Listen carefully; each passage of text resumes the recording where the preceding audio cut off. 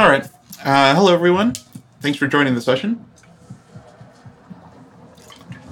Um, what we did on the last session was work on a web component for a little timer. And um, I'm pretty happy with the way it turned out um, for the most part. Uh, the markdown looks pretty nice. It's uh, Astrocast countdown um, using some information, and then it has the fallback of whatever the twig uh, time diff is showing. Uh, so I think it's pretty cool how it actually turned out. Uh, so that makes me pretty excited. Um, uh, let's see here. So what I'd like to do is potentially do something similar to that with the video player. Um, but before that, I just want to give uh, an idea of this one page I created. So I think I have countdown. There we go. So I'm actually going to be using this in OBS uh, for sort of a uh, loading page. So it's going to know when the next episode is supposed to start. Um, so uh, not this episode, but probably on um, one of the two follow-ups later uh, next week, um, we'll be able to see this actually in action. So the idea being that I'll be able to start the stream maybe 15 minutes early and start telling people about it, and they'll be able to see a countdown timer showing when it's actually going to launch. So um, I might actually do a little episode just on how to get this into OBS, uh, but I haven't done any meta uh, screencast yet, so that could be interesting. Um, running this also ran into some other issues um, with how uh, the events were coming. So um, I've started to add uh, some more things to our list here, and this list is getting kind of big. Um, and there's a lot of stuff that's kind of half done, half finished. Uh, so I might have to start cleaning up older stuff. So I think I'm just going to get rid of uh, Twitch integration for now, or at least this, the sub pieces of Twitch integration, and I might actually say Twitch integration with Pusher. Combine these two so we can get a better handle on these. Uh, the video model is mostly done, um, so I'm going to get rid of the sub things. Uh, easy admin, I'll leave easy ad. That's, that's, actually not important at all, so I'm going to take that off ent entirely. All right, so uh, TurboLinks, um, I'll leave that there for now because I, I, would like to do that. Uh, we did do the Astrocast uh, countdown component. Um, what I think we might do today uh, is extract that into its own file, and that'll sort of be the template for what we're going to do with the Astrocast video tag. Uh, so I'm going to have to uh, look at that a little bit and see how we're going to do that. Um, as, as, for other stuff I would like to do, uh, possibly today, um, I think the the calendar stuff being just a raw array of um, essentially date time objects. I think we need to do something more interesting with those. Um, if we look at the code, uh, not that code. If we look at say calendar controller, uh, what we have is we get uh, we get the information from the cache, so we get the events. Um, if there's no events, then we want to do an unavailable HTTP exception in this case. Um, and then we need to sort, uh, we need to filter out all of the events that have started in the past um, and then get the first one. This is a lot of work and it's being done in several places now. So it's well past time uh, to kind of get this into its own um, interface to keep track of those. So that's what this particular issue is about. Um, so clean up duplication, trimming first event if it is in the past. Um, and then another thing I wanted to do was uh, to do a chat page. Uh, right now, we do have a chat page listed at the top, uh, but this link actually goes straight to get uh, the Discord link. I don't necessarily want it to go just to the Discord link. Um, I, what I'd really like to do is have it go to um, uh, one of the Restream pages, uh, our Restream chat things, so that this page, like let's say we're going to click on it here, would actually um, say chat. Would there be a link to join Discord? There'd be a link to all of the places where you can see the content and join in the chat. But then I'd also want to put the inline chat here um, if there's a session currently in progress. actually, even if there's not. Um, that way, if you wanted to, you didn't have to actually go um, join the uh, join Twitch directly on their interface or uh, Google or whatever, um, and you'd still be able to see all of the chat messages coming in. That's kind of the general idea of, of what I'm thinking about with this chat. Um, so the first thing I think we should do, actually, let's maybe do this because I think this is going to be pretty easy um, to get this going. So I'm gonna, I'm just gonna warm up with the chat page here. So first thing we're going to do is create a controller for chat. Um, also, I started messing around with Powerline yesterday, um, just because I wanted to see what it would look like here. Probably be tweaking that a little bit more, but we'll see how it goes. So I'm going to do bin console make controller, and we'll call it chat. All right, so it's going to create the chat template for me, and as I've done in the past, I'm going to move this to templates chat. All right, and I'm gonna have to update that in the code itself. So let's go chat. Uh, doesn't know about it yet. Chat controller. Um, go. All right. So this is just going to be slash chat, and the name's going to be chat. I'm going to go now back to uh, base and Discord. So I'm going to copy this URL just so that I have it. Uh, what I'm going to do is change this now to um, the path chat.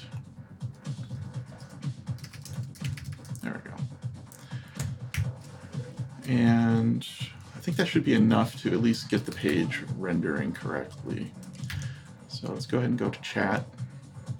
All right, so controller name does not exist, which is fine. This is just worrying about, um,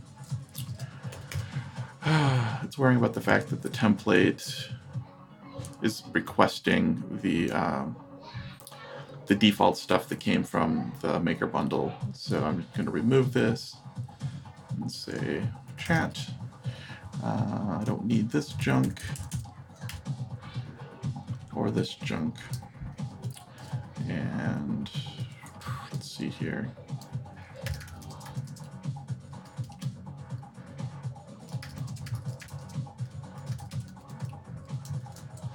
Um, the Discord server.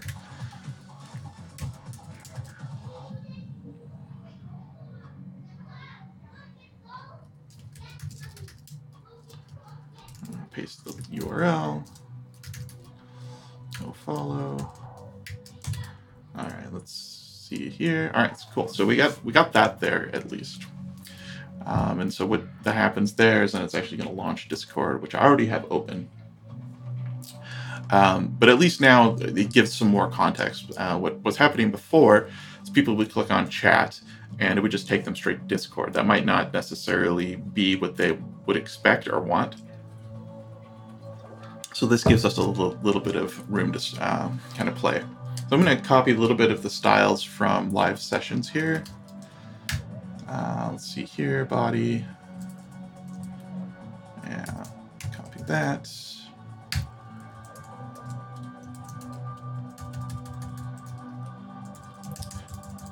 Do chat with us.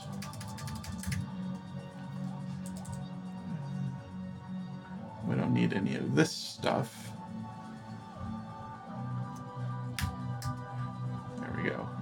Use the original text that I'd written.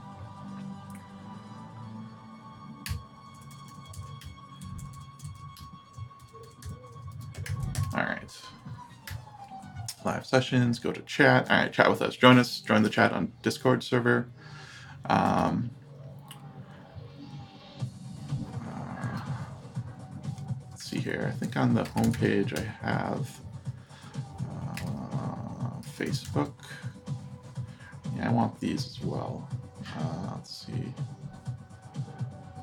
Uh,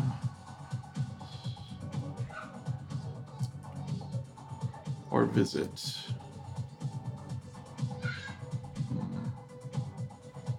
All right, yeah. This section here will work.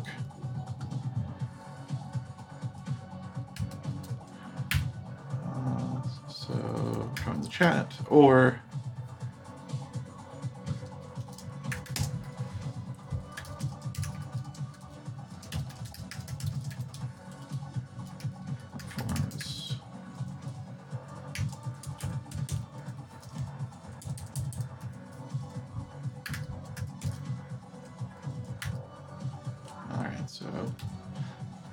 white stuff in here. Let's see, where do we have that? Fill current text white. Let's just remove that.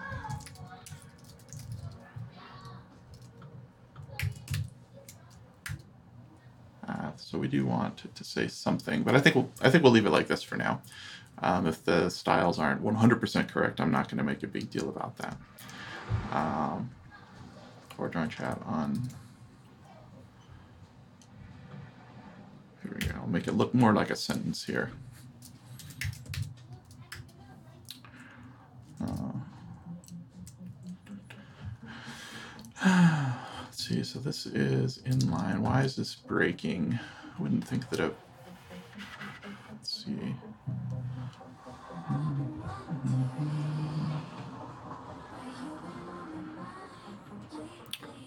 Need to do spaceless in here because. Um,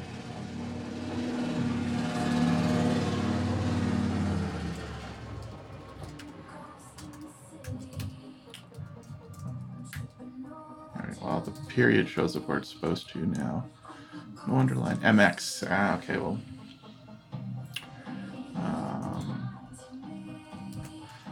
Remove these MXs here because I don't think those make sense anymore in this case.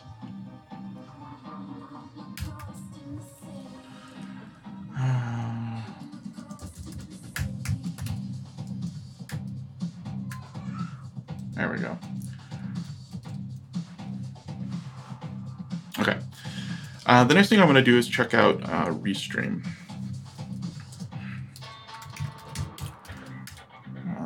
Log in here. Next, they have a chat thing that I'm going to use. So let's do.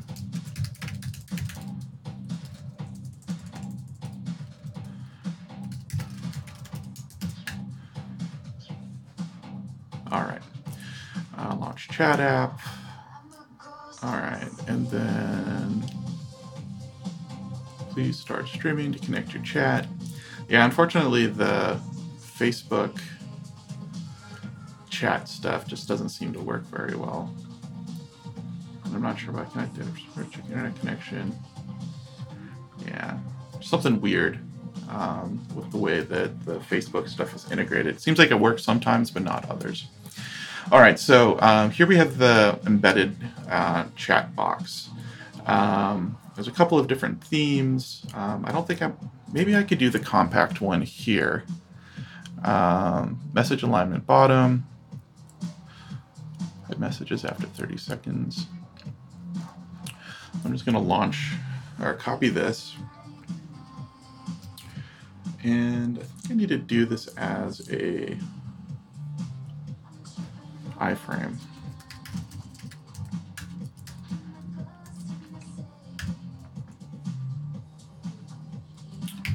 Let's see what this does out of the box here. There we go. Uh, ideally, I don't want that to show up. Connected. I wonder if I can hide that. Compact alignment. Hide messages. True. Timeout.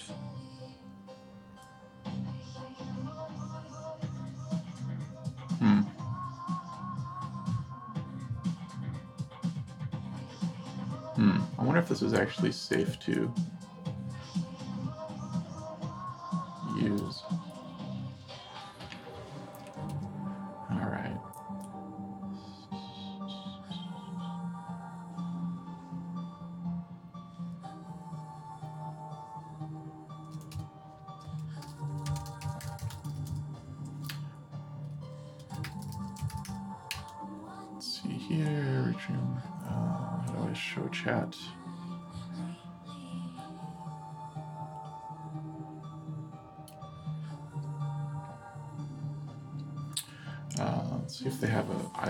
Chat understanding. Yes, CSS. Uh,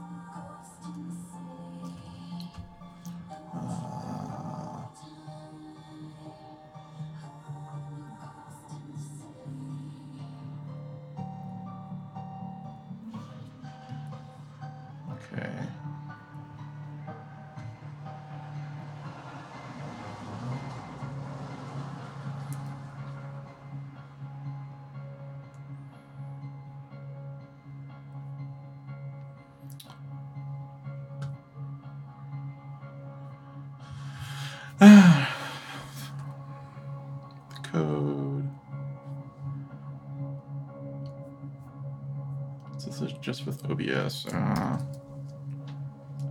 control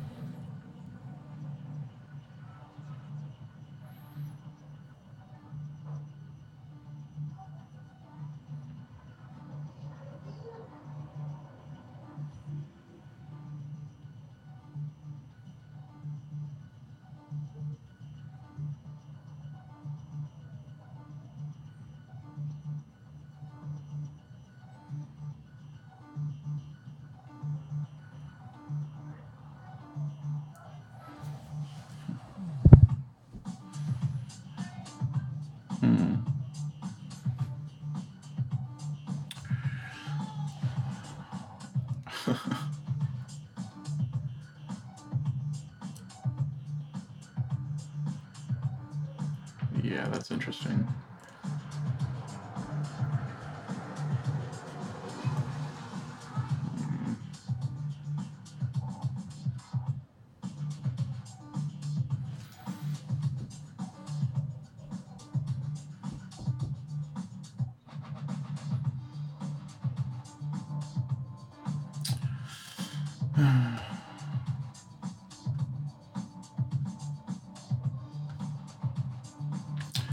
I'm guessing is that OBS actually um, OBS has the ability to set CSS. Uh, order level experience. Chrome window, right click.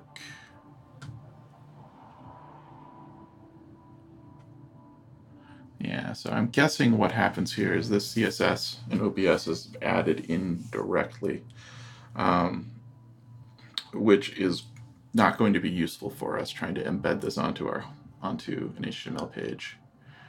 Um, I wish I knew how to get rid of these things. Um, I'll turn hide messages off.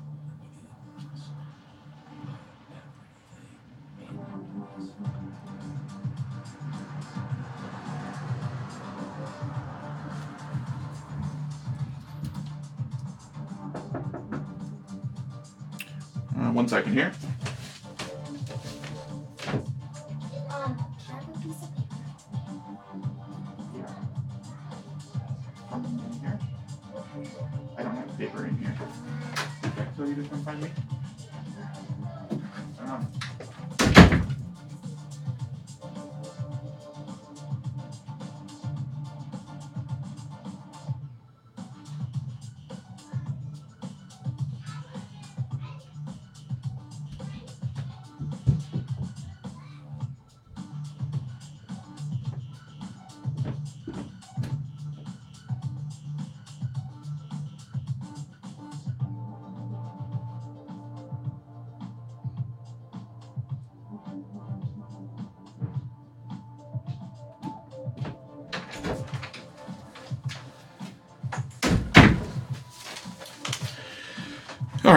Sorry about that. Um, okay, so I really want this to look right, or look better than it does now, and I want to get rid of this. Um, let's see where this is in here. Document.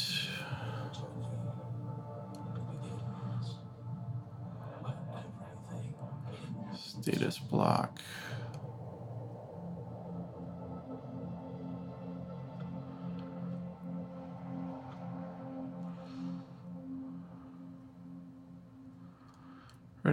For messages.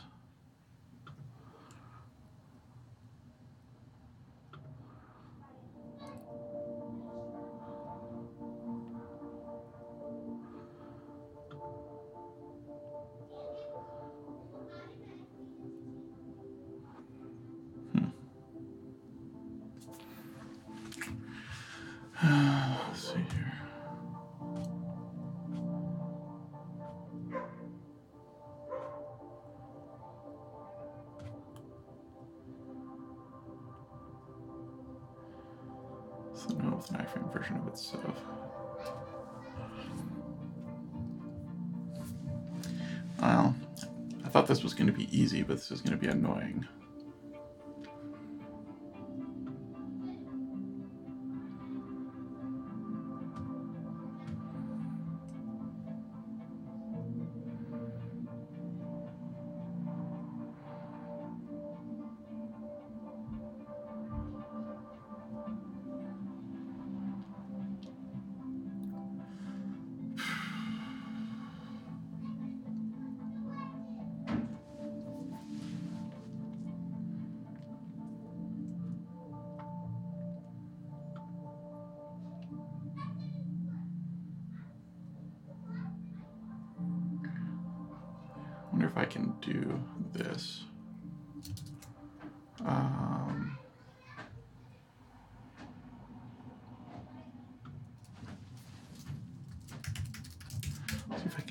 Inline.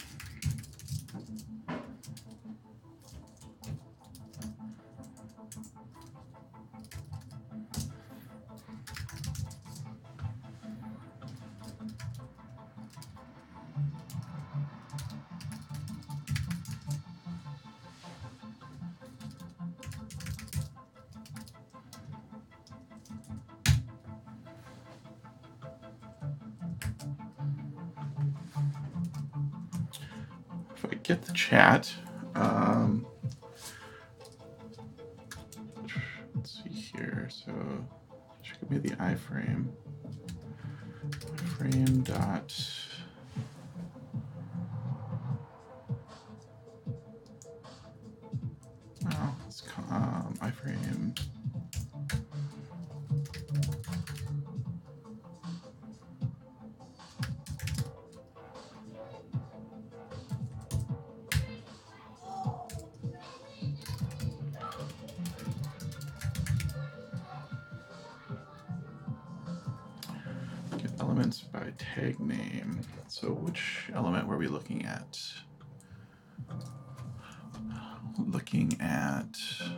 Status message.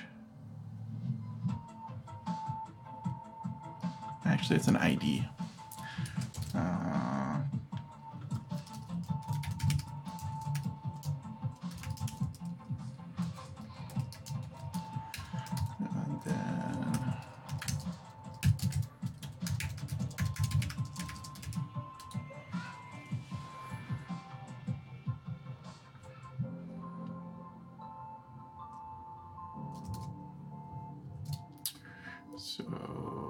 Root child this.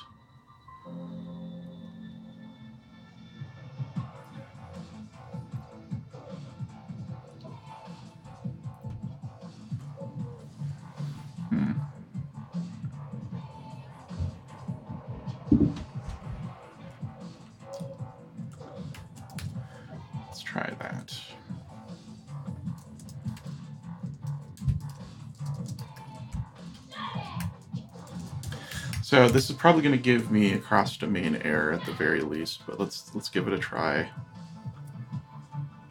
Get element by ID. of undefined element by ID. Uh, window is it window.document?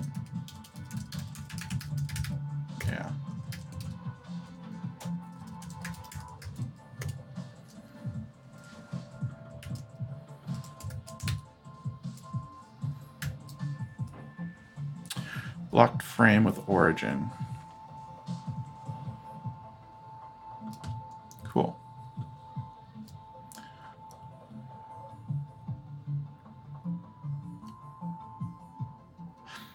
Huh. It's actually not there. Let's see. I framed a document. So, can property of undefined.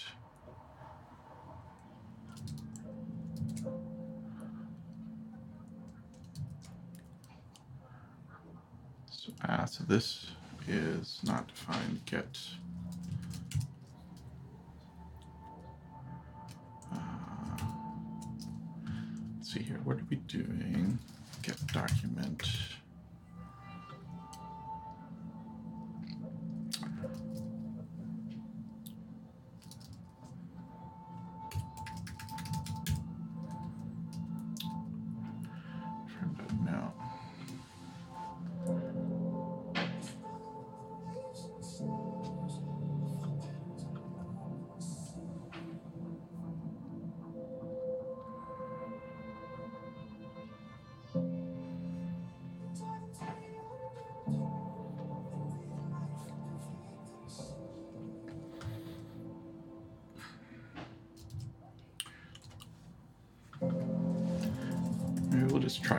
and see if this works.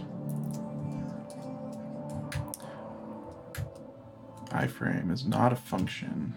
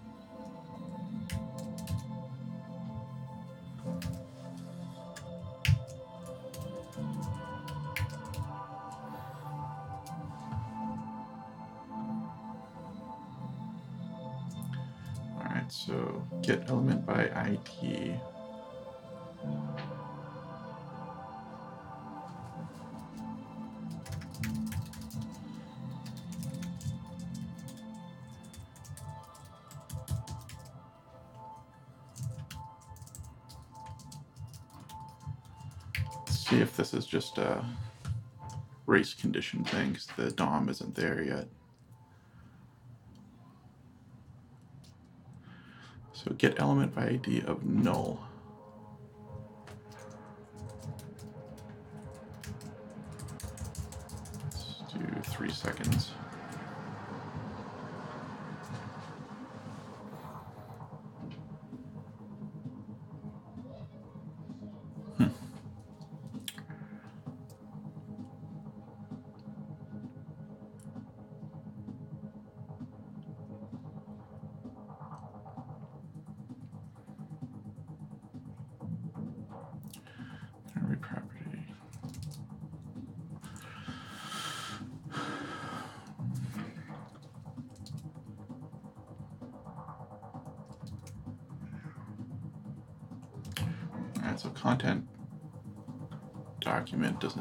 Anything.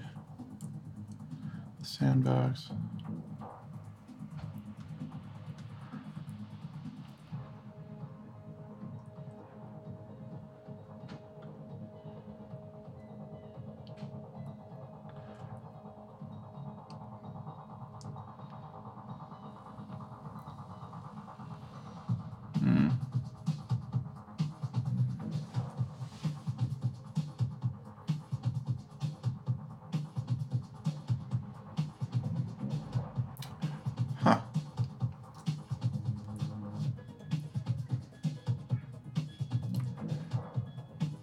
So in theory, we have an iframe. Uh, document equals. So if it has a content window,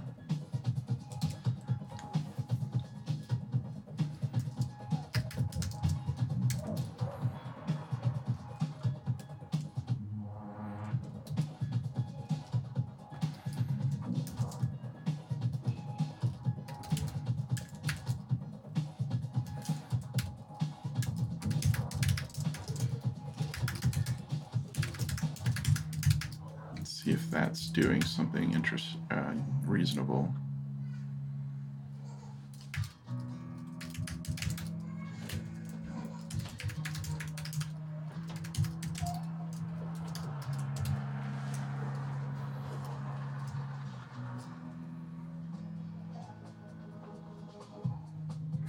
All right, so that's actually working then.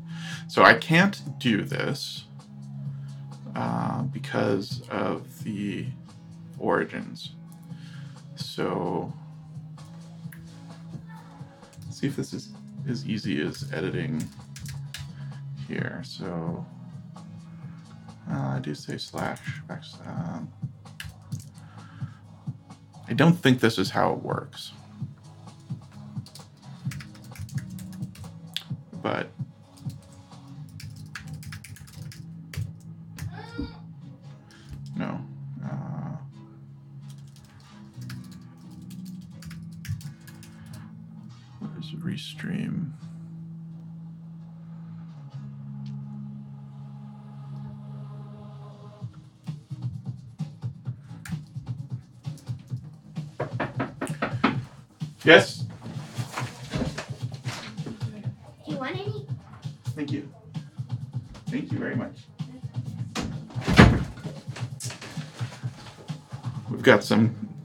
Cousins over today, so uh, they're having fun and bringing me chocolate, so I can't complain too much.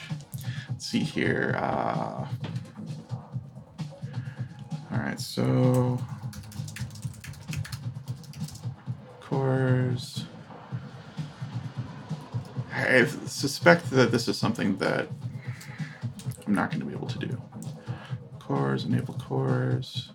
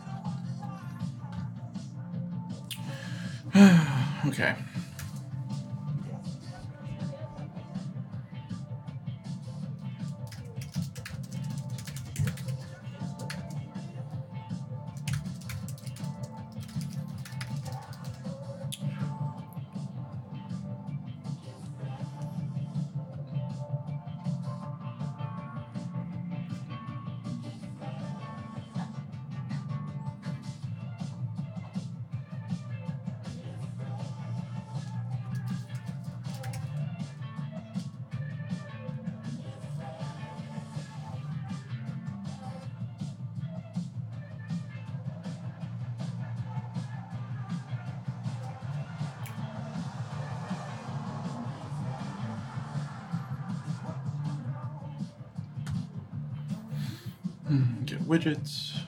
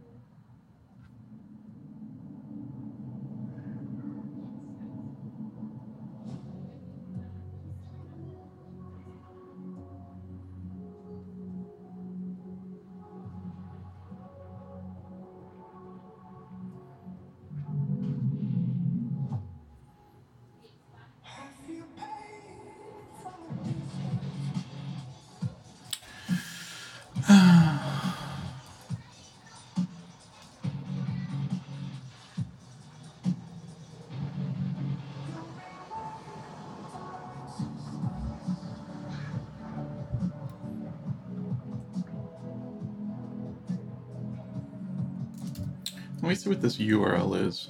I want to see what the content looks like because if the actual source for it isn't too bad, then it's entirely possible I could do one of these other hacks.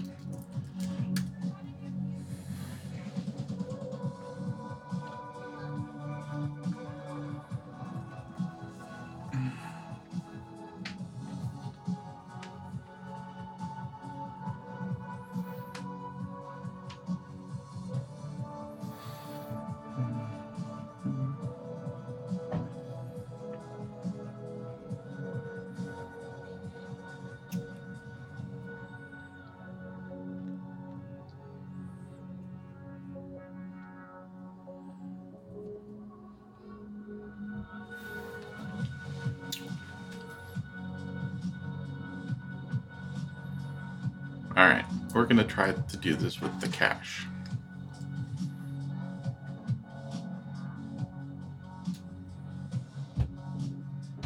So I think I can download this.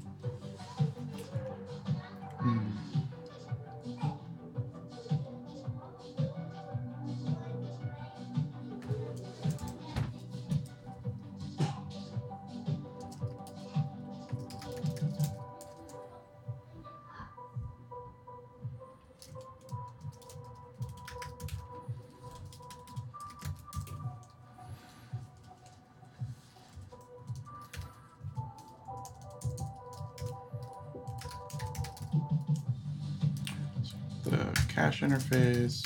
We'll do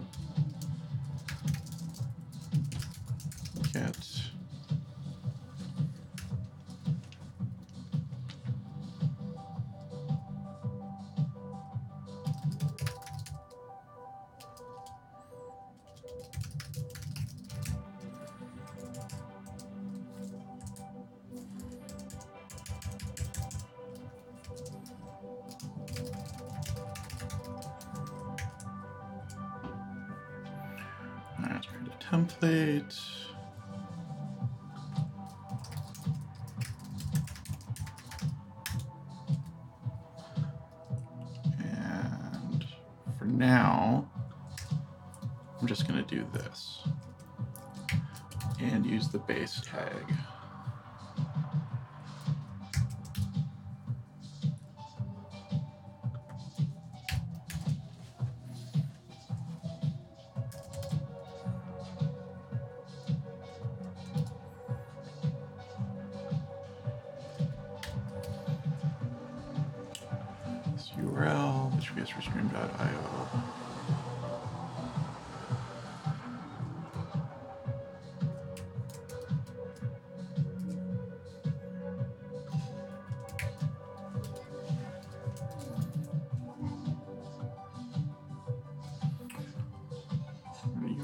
chat restream.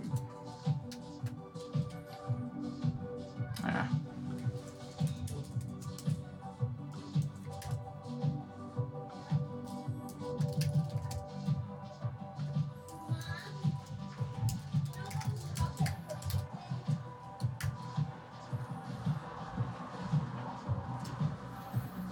Ah.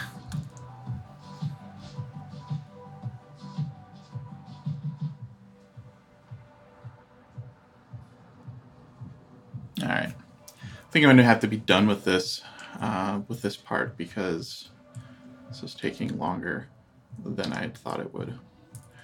Um, or I could just not worry about um, that extra junk,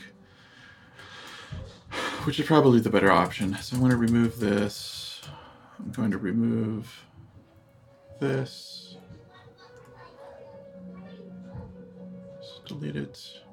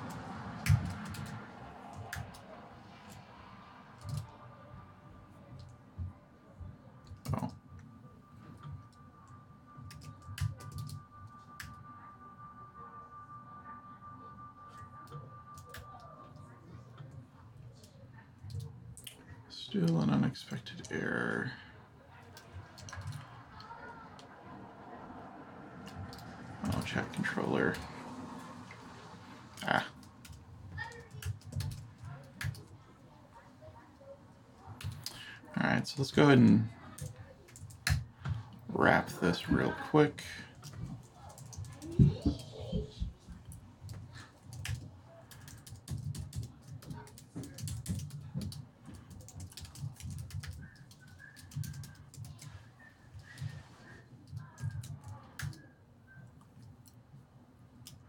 All right, let's not do PY16. Let's just leave this empty for now.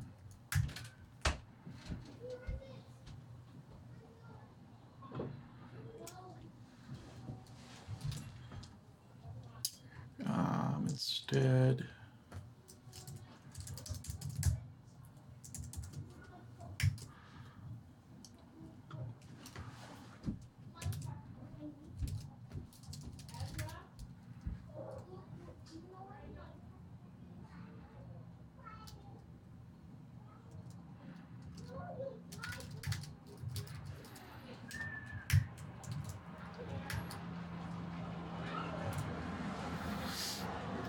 we'll do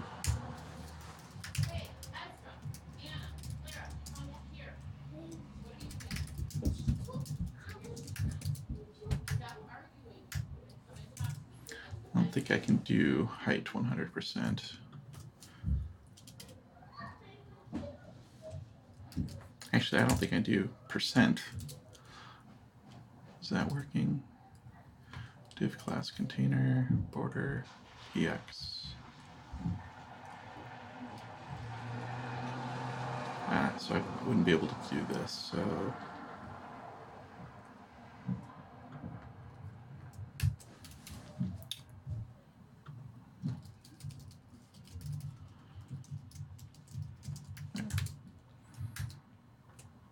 okay, working on Facebook. Um, uh, height.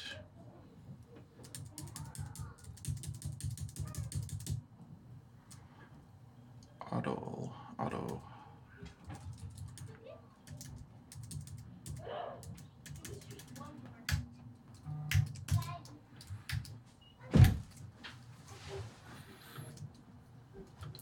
Let's check out the Tailwind doc, see what they have to say about this. So let's do height. All right, H1, H screen. I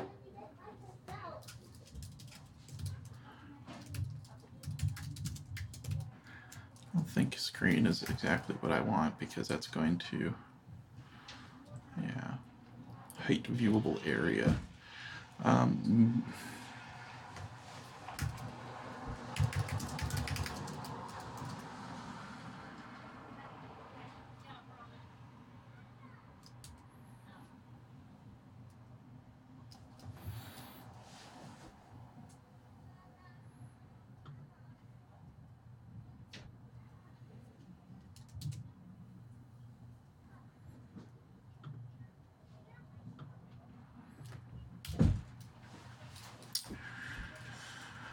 uh, let's do 32.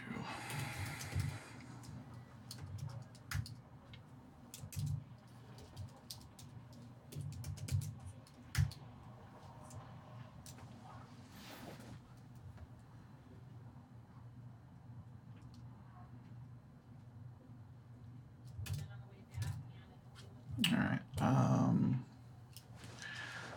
I don't know if I like compact. Let's do.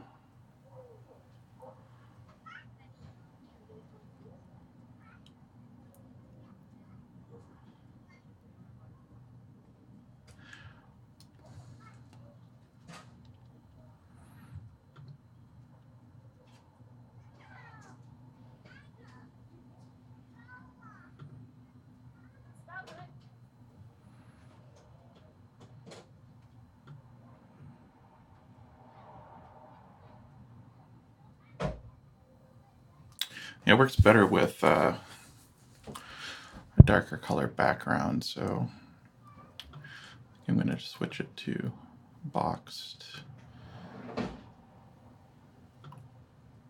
And default. Maybe I'll use default. Copy the URL.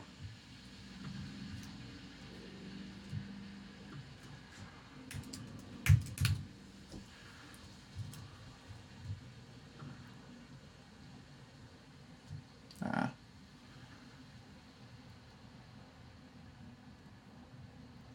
Guess I don't mind having that background there.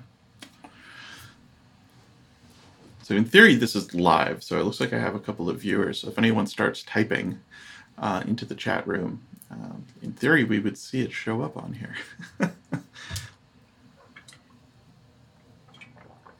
um, okay, so I think this is probably going to be good, um, at least for now. Get the music going again here. There we go. All right, so we have the chat going. Um, create a chat controller, uh, added the Discord link, and we embedded Restream chats and chat page. So I think, ah, looks like uh, Marcus um, on Google has sent a test message. Thanks for that. I appreciate it. It looks like it's working then. um, yeah, so the idea being eventually I want this page to sort of be the, the chat hub um, across the different platforms that are going to be supported. Um, Restream's support uh, for this chat isn't necessarily very good. Um, I have seen instances where it has like just not shown anything at all, um, or I'll find out later that half the messages from um, YouTube didn't make it. Um, we can see very clearly right here that Facebook is struggling. Uh, but I'm just going to leave it for now. Um, although I wonder if I can, I can do a negative padding. That might be a way to get around this. Let's see.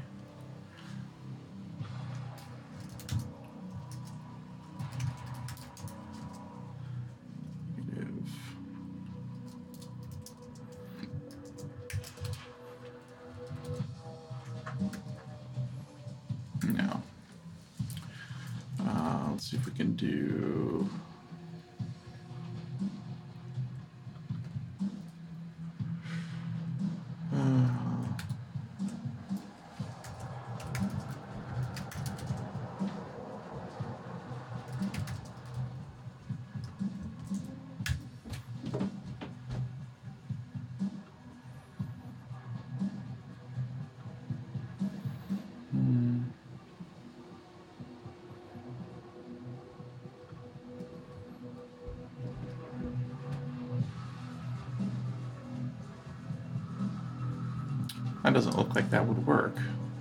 iframe position relative. I want to hide the first site. Hmm. Well, doesn't hurt trying, but it really doesn't seem like that should work.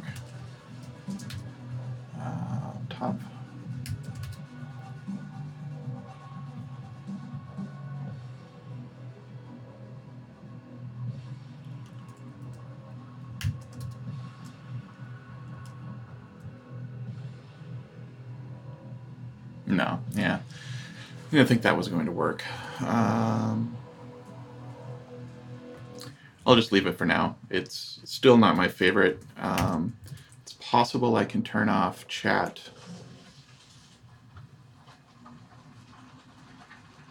Maybe not. Maybe I can't.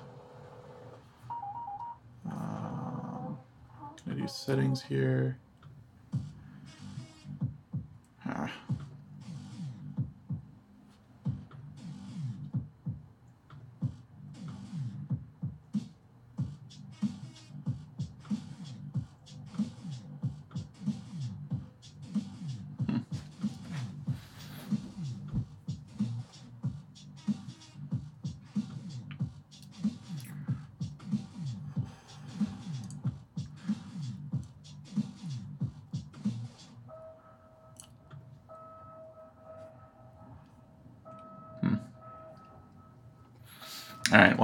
Try to take that up offline then, because I don't think I want to spend more time on it right now.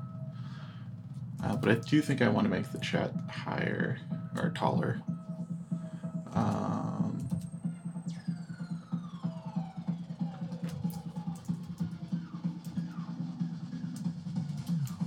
it's the biggest one we have here, height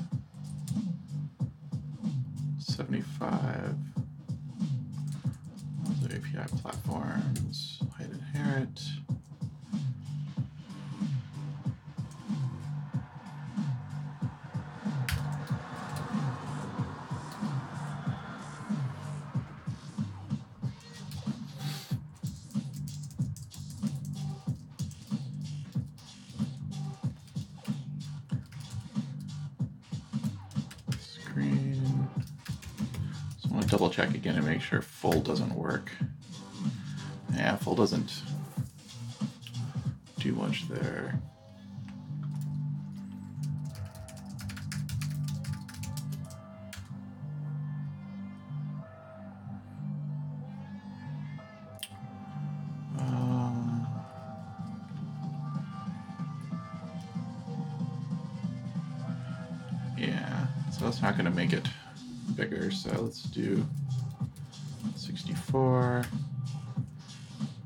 guess is prob maybe good for now.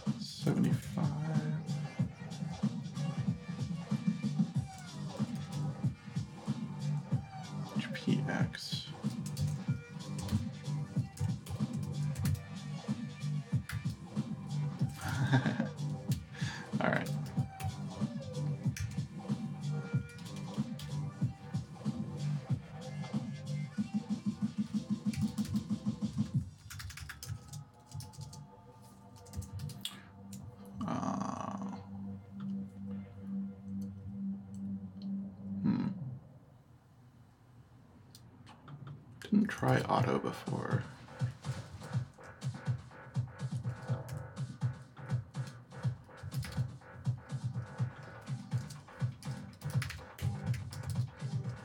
What we do here. Yeah, auto must be the default. All right, so H64 is 16 RAM. Let's do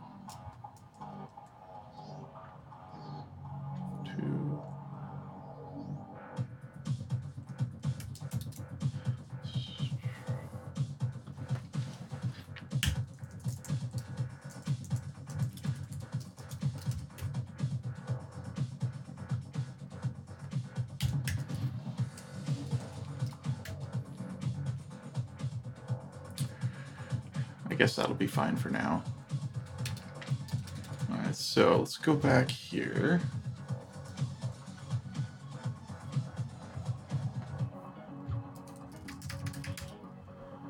Um,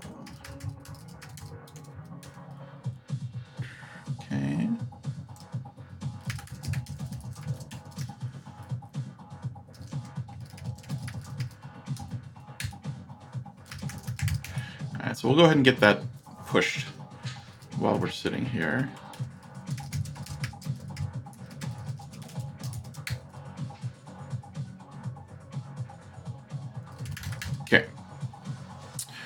So uh, we have the chat page done. Um, let's take a look at the Astrocast countdown web component. Um, so what I'd done last time.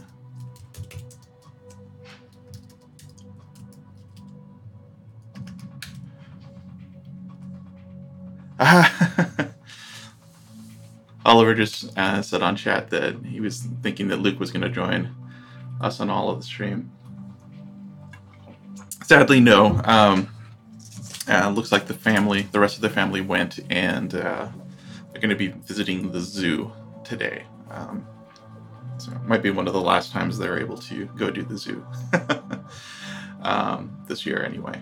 Uh, our zoos, uh, the zoo in Madison is actually open all the time, I think, but during the winter it's not super pleasant. Okay, so um, let's take a look here at the web component stuff that I worked on. Um, so with the countdown class, um, it created a uh, shadow root and then used the existing content as the shadow root. I think we're going to do something a little different because we're going to be creating um, an iframe and things like that. So um, I think that might be a little different. So I need to do some more research on that as we go. Um, there were a couple of things that um, we got uh, we did on here. I added a until method, um, and this was actually what we used to get the uh, the moment object that represented uh, what time on the the uh, clock. Uh, so if we look at the clock, we can see what that looked like again here. Um, when we look at the source code, we'll see that the Astrocast countdown web component um, had an until specified um, and a source time zone specified. So the countdown runs until the next episode is supposed to start. So this is actually, I think, Monday. Uh, this should be Monday at 4 p.m. in uh, U.S. Central Time. Uh, we specify the display style is digital, and then uh, what we want it to say when uh, the countdown is ended.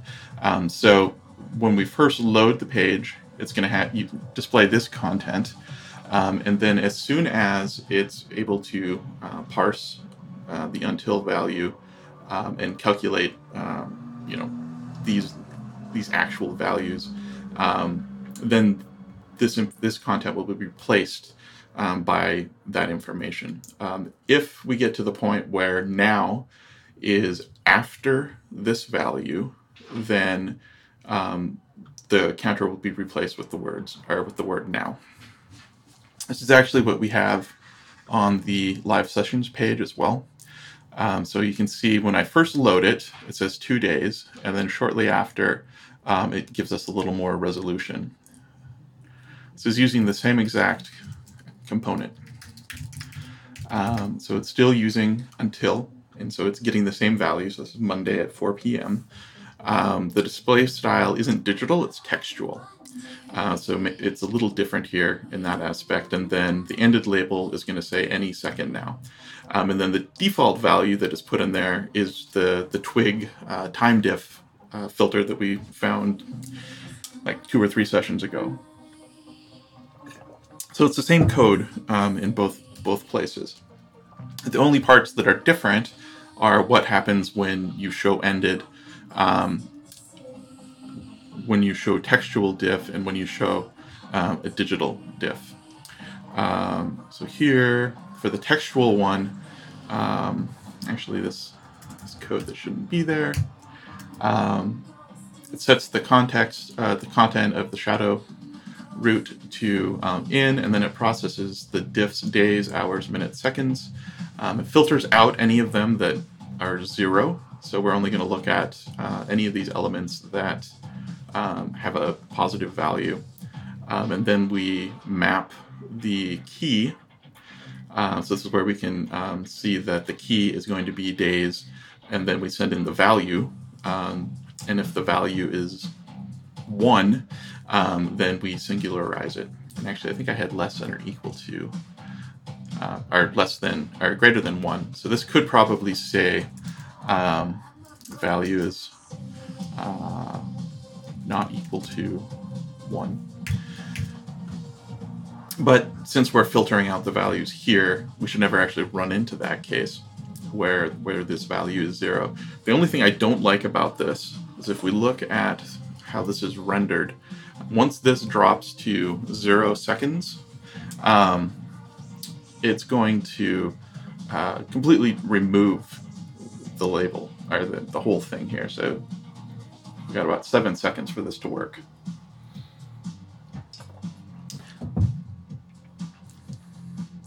So I think it's a little jarring that that happens. I think that I would prefer it to say, um, I don't know, zero seconds maybe.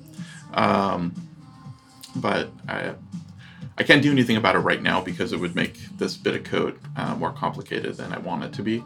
Um, and I, am not really sure what the expectation there is either. Um, the other thing is once this goes to say uh, one minute, once that rolls over, it's going to say two days and 59 seconds um, because it's not going to be able to show any of the minutes. So I, it was the first pass at it, so um, I'm, I'm, pretty happy with the way it turned out. Um, so then there's some life uh, life cycle callbacks that happen um, in the HTML uh, element. So uh, we're extending HTML element to create countdown. Uh, the connected callback is what happens once the um, element's actually rendered and ready to go. Uh, maybe not rendered, it's when it's ready to go. Um, so the first thing I do is define a get and update method. Um, and this is using Axios to get the next calendar event, uh, which was the little API endpoint that um, that's going to give me an error that really just gives you um, the start and time zone of the next uh, the next time that there's going to be a scheduled session. Um, so it gets that information and then it sets the attributes on the object itself. So it updates the until value and it updates the source time zone value. Um, so the idea is that as soon as this endpoint starts returning a different value, then we can update um, the pages accordingly. So, for example, the next session starts in two days, uh, 47 minutes. Well, what happens in two days and 50 minutes?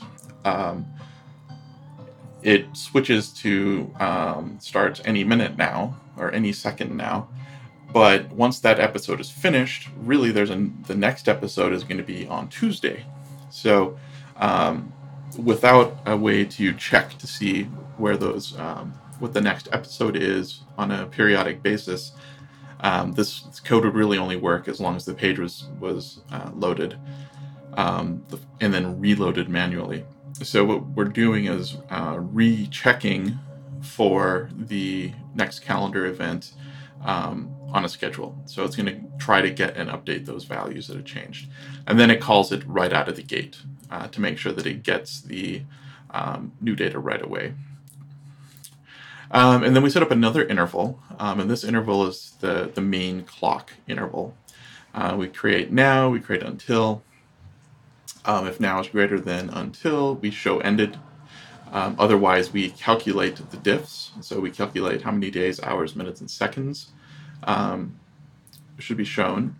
And then we call either show textual or show digital based on the display type or display style. So, um, what we're going to do now is um, try to break this out into its own file. So we have our assets.js. Um, let's see, I'll make sure web components. Hmm. All right, so web components. I'll do. Actually, I'm not going to go deeper than that. Um, let's copy all of this.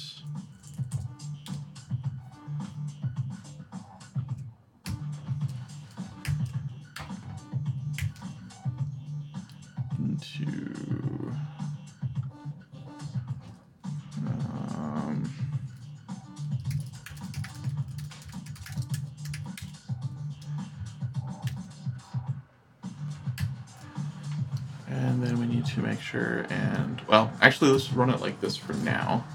Um, and you need to start watching.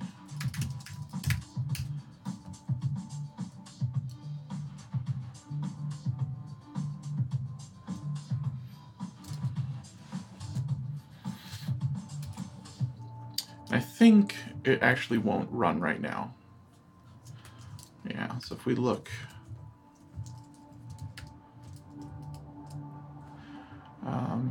not going to find that web component because it's no longer being included automatically. So um, uh, require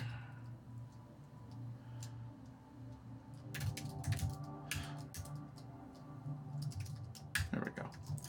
I think that should do it. Can't find module.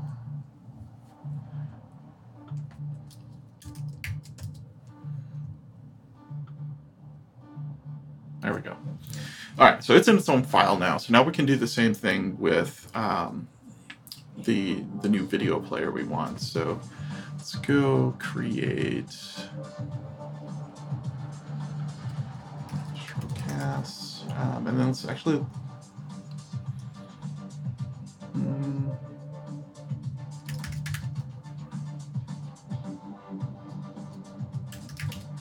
let's just do it this way for now. Let's it.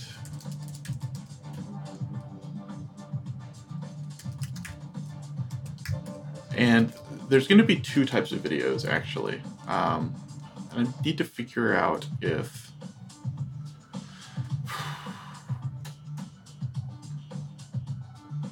Actually, I think it'll just be the wrapper. So, um, in theory, if I go to the.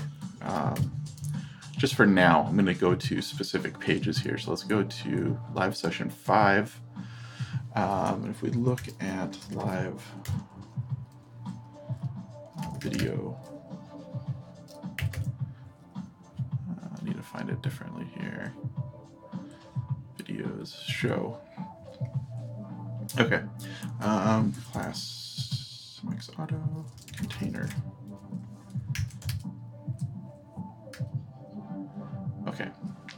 So the problem here is that the underlying video um, object again is going to be having the same problem that we had with the other um, chat page that we launched is that it's going to be either a video or it's going to be in an iframe. Um, and at least with vimeo i know for sure it's going to be in an iframe and for um, let's see uh, for like twitch live stream i know that's in, a, in an iframe as well and the way that i uh, worked on that wasn't terribly uh, exciting. So um, there's a bunch of code in here. There's resizing, resize all players, init player.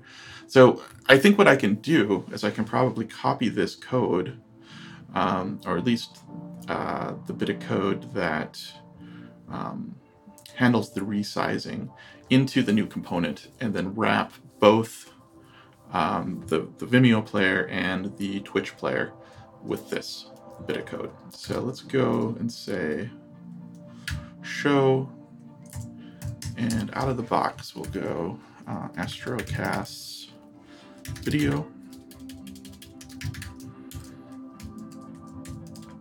This is actually a component that, if it works right, I might actually try and publish this somehow. Um, so reloading this page, nothing should change um, because the way that browsers work.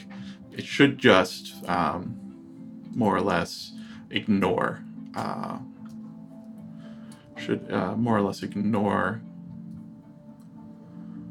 uh, new tags. So working podcast, MX Auto Container. So yeah, Astrocast video. So what we're going to do is copy some of the code that we wrote, just the bootstrap code. So I don't need Moment. I don't need Axios. Um, I think this stuff should go in app.js. There we go. All right, so these are all things that are specific. So let's do countdown. Actually, just get the whole thing here probably some best practices that I'm not aware of just yet. Um, Astrocast video. Uh, for example, uh, I don't know if it makes sense to actually register this within this file. Um, I just don't know. Um, but this is what I'm going to do for now. So connected callback. Connected um, callback will happen when it gets connected. So let's use this to try and um, sort of see uh, what's going on. We'll be we should be able to see um, that that this code is at least being run. So, uh, until show ended show textual. There we go. Um, I'm gonna rename this to video.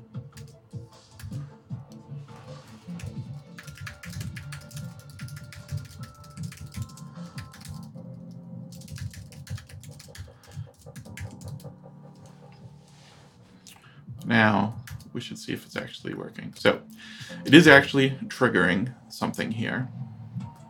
So we can actually do something meaningful. Um, I'm not going to, mm, you know, maybe I will keep that there. Because this should, in theory, give me access to, um, this should give me access to the underlying iframe. So connected callback what things do I have in there? So this should reference the object.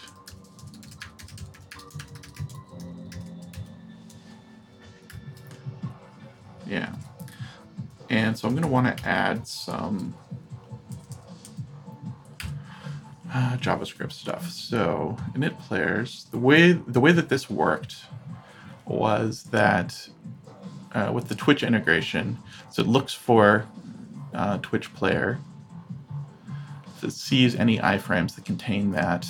It tries to get the width and height from the iframe itself.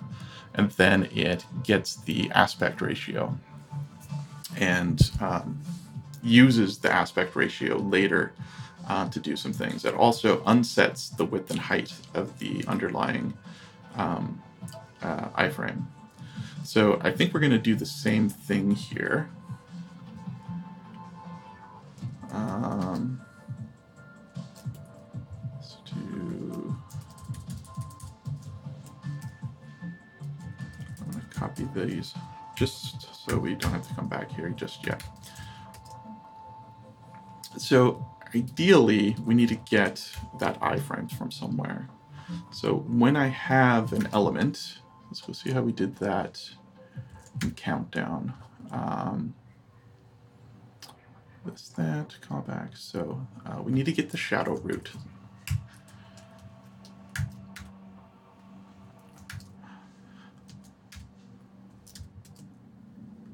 And then iframe should be shadow dot uh, get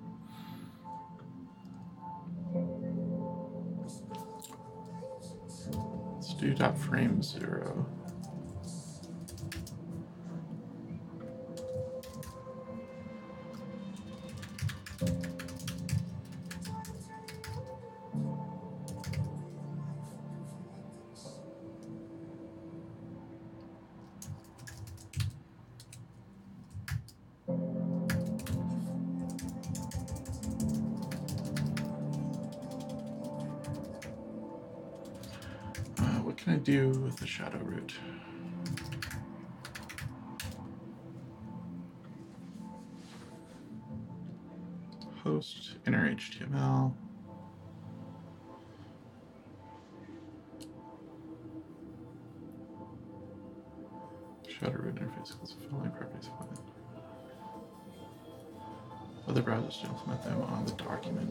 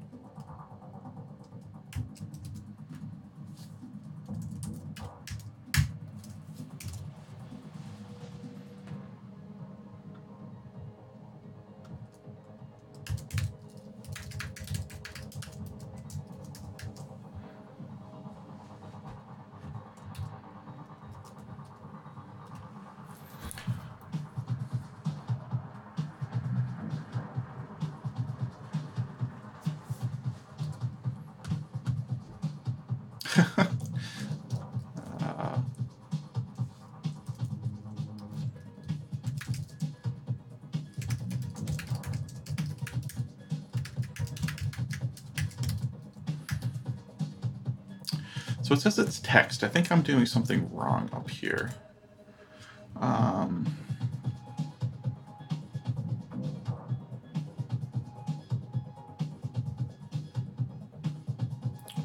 shadow root.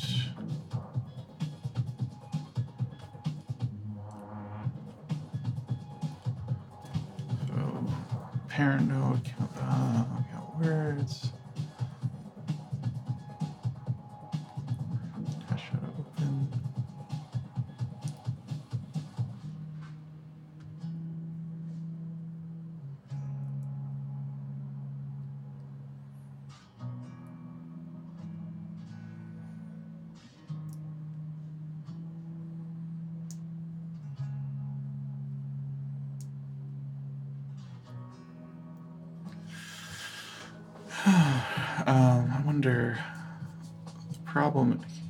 Be up here. So shadow.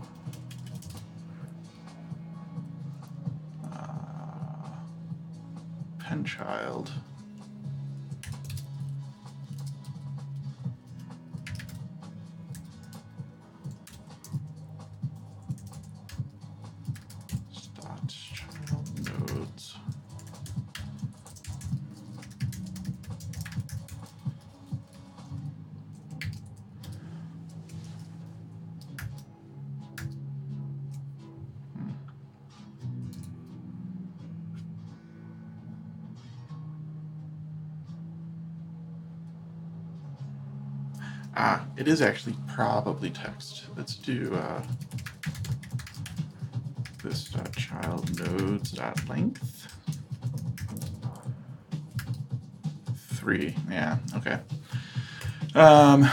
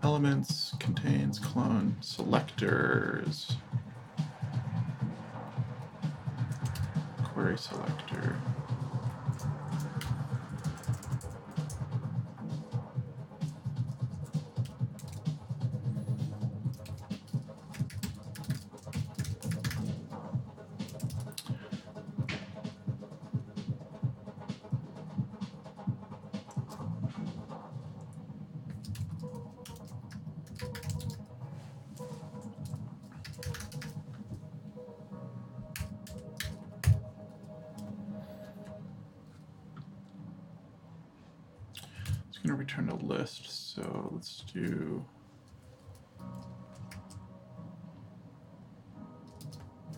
Let's see if this works. appendChild on node must be parameter one is not of type node. What is it? Let's see.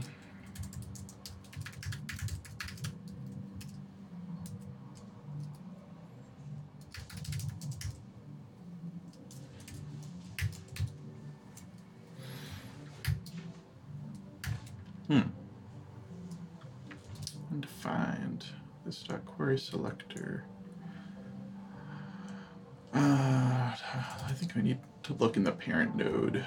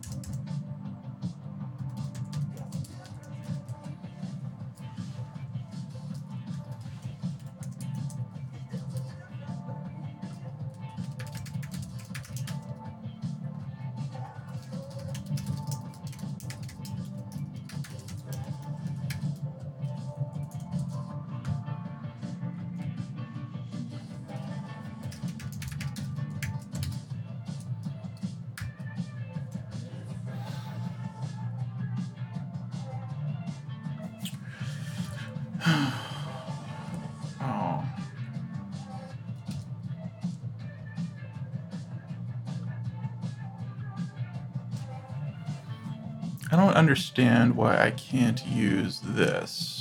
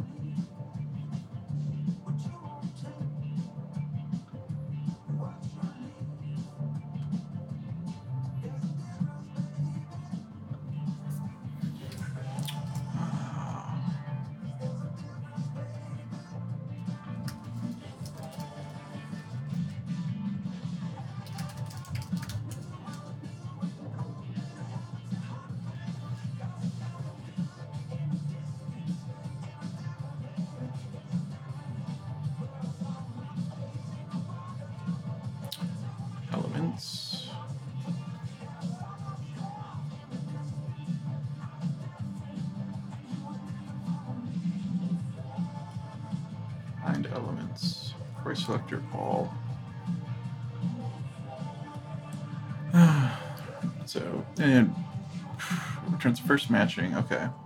So, Marcus in chat is saying that uh, query selector returns the first matching element, not a collection.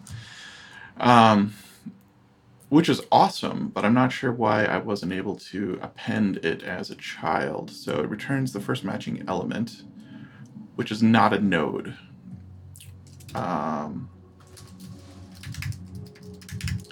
uh, pen child.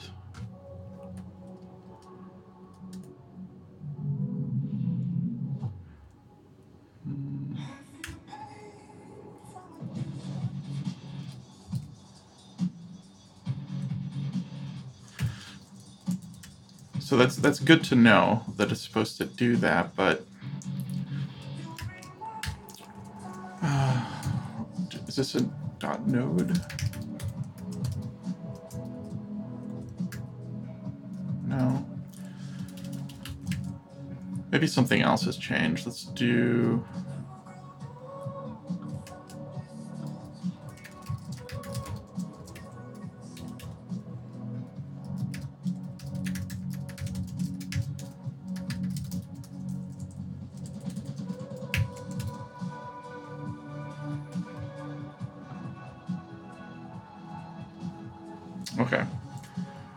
Like it's working.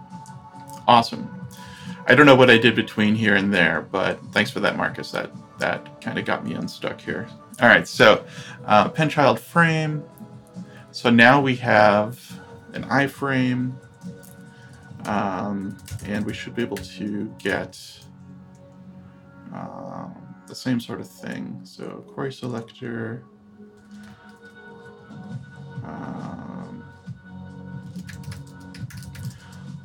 Can do it from shadow. We'll do the same thing. Dot query selector iframe.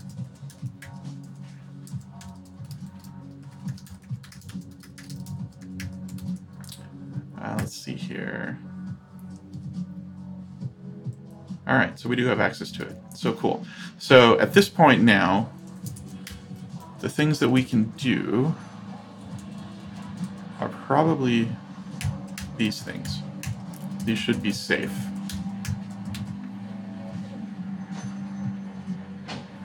All right, good. So it's doing something like I would have ex- expected here, um, because since the width has been removed, um, it's now shrinking down quite a bit. All right, so going to add a resize listener specifically for this instance of the callback. Um, and I'm going to just change this back to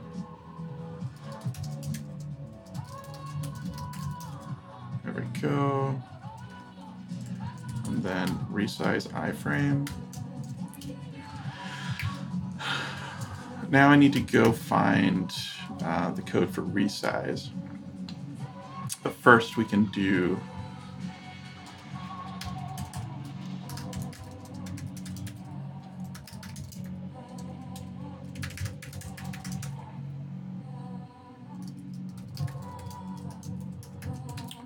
Let's do this.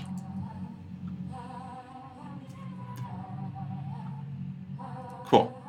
So it's actually triggering things like we would have expected, which is awesome.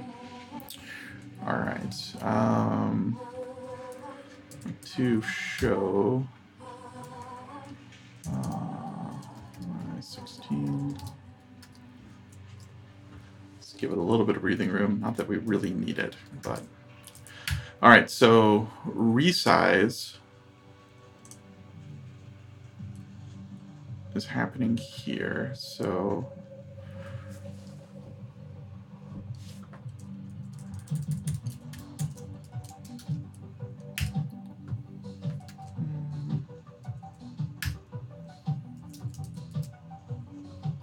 So we get the iframe in. Um, oh, document query selector. Ah.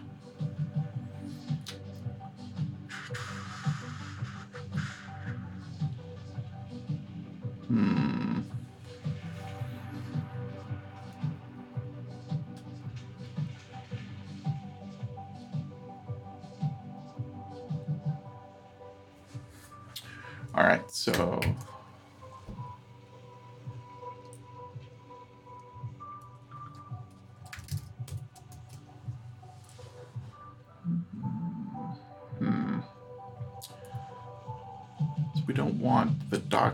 We want to get iframe dot parent node.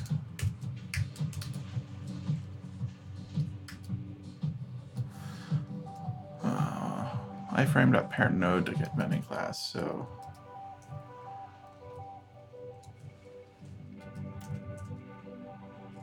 Let's go look at the example again because I think they were doing something with uh, parent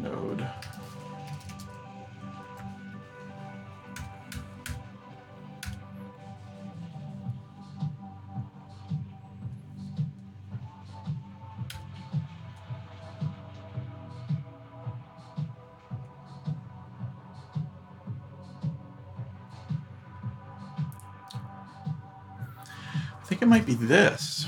Um,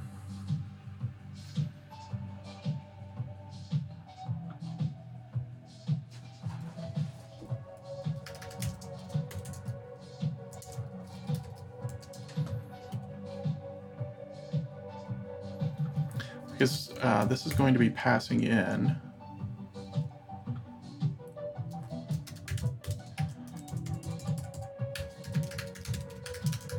Should be passing in the element or the Astrocast video element, if I'm right. Yeah. Hmm.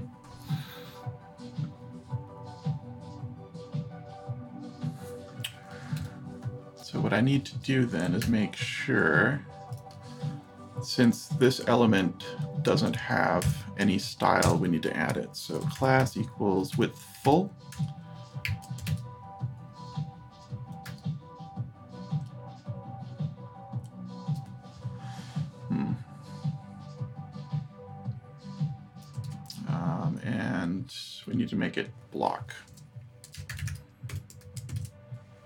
Width doesn't matter.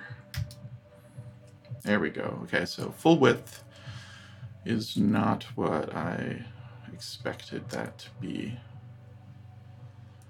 Hmm, why is that happening? So container.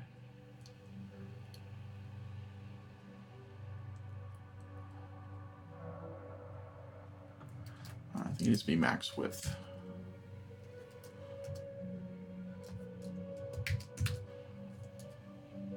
There we go. Cool.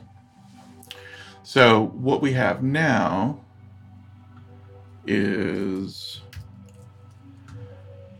dynamic full width ratio thing.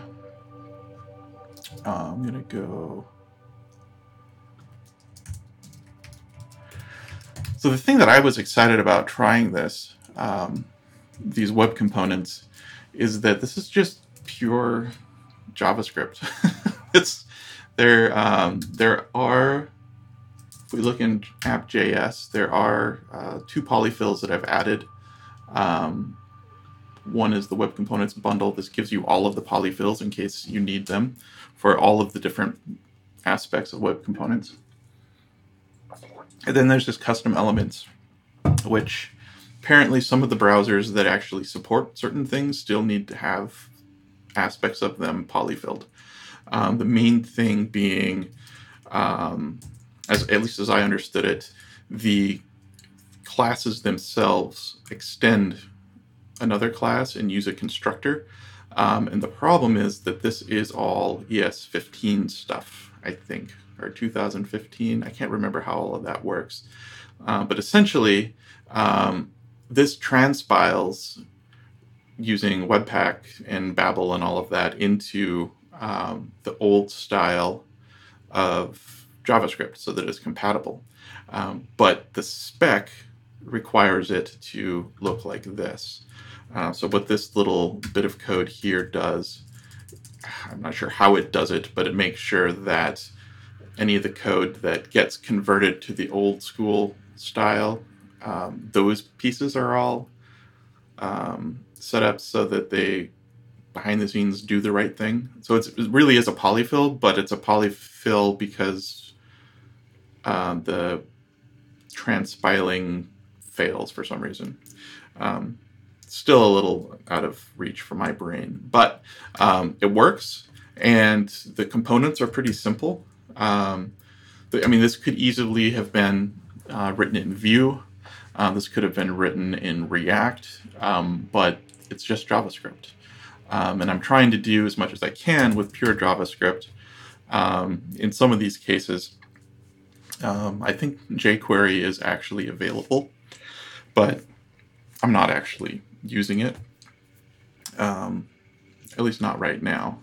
Sometimes I feel like the you might not need you might not need jQuery stuff just really takes more time than it's worth. Um, but um, I think I'm going to be okay with it for now. All right, so we have this um, video element. We know that it's working for this Vimeo page. Uh, keeps everything the way we want it to be. Um, let's try to see if we can do the same thing for the homepage. Uh, because the homepage then is using Twitch. Um, if this video component works as advertised, then um, I think we'll be in good shape. It should just work. Um, I'm double streaming here, so that might be kind of weird. So I'm going to click off of the page while I'm working on it. Uh, but working on it shouldn't be very much at all. If I go to show, really all I need to do is do this same thing and put it in home. So I think before I do that, I'm going to kill all the, well, I can't kill the old JavaScript. Let's see. Which things can I kill? Um, resize all players, init players, uh, class, remove class,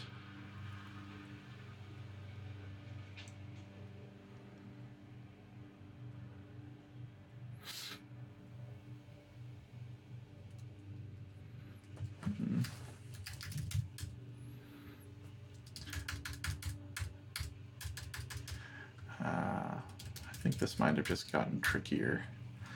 So video wrapper.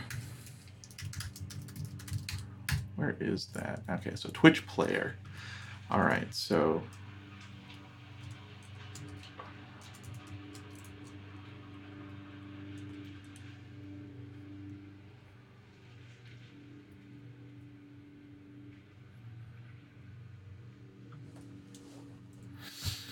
Hmm.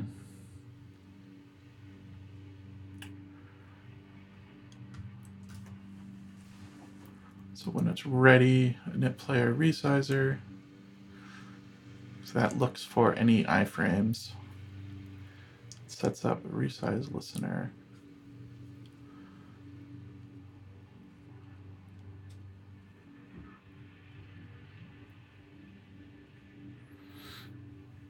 Yeah, so I think the problem here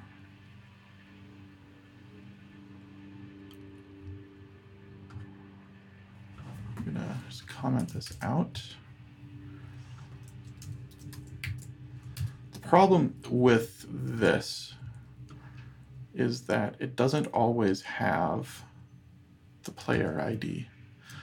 Uh, ooh, welcome to the chat room. Wow, that's that loaded up a lot more than I thought it was. Um, with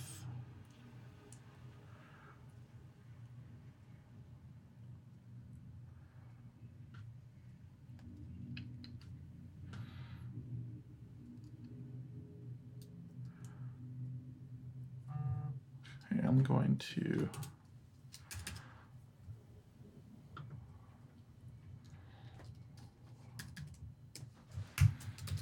I don't know why it's showing the um, the whole thing right now. Oh, to m.twitch.tv.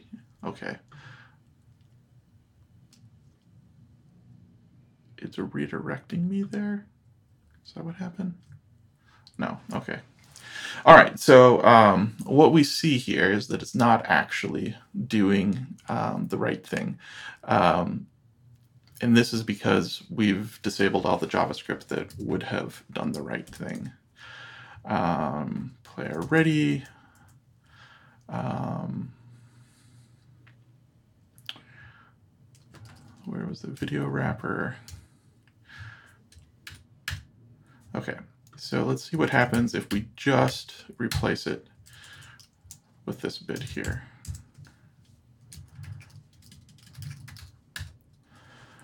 see. The problem is that that iframe may not actually always exist. Um, and it may not actually have the right sizes. So what I'm guessing is that it's not working right here, right now. Um,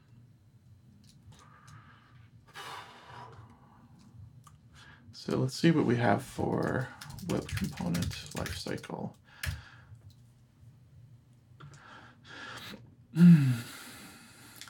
So there's attribute changed, adopted callback, it's connected callback.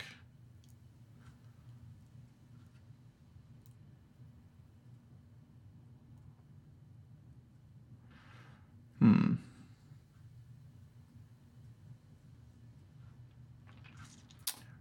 So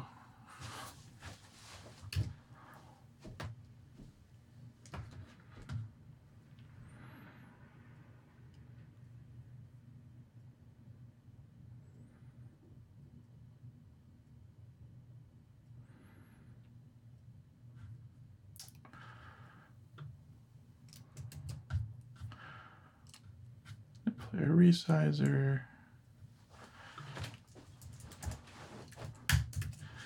All right, let's do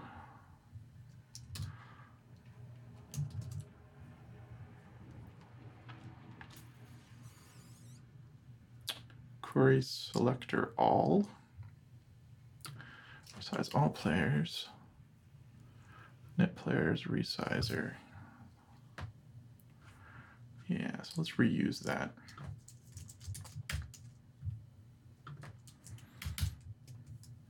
All right, and here, oh, we're going to do the same, not really the same thing. Um, uh, iframes. We're to say Astrocast videos.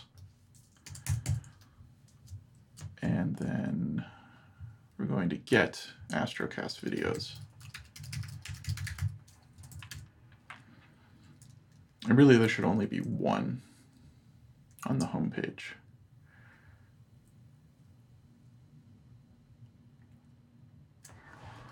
Uh, so let's do.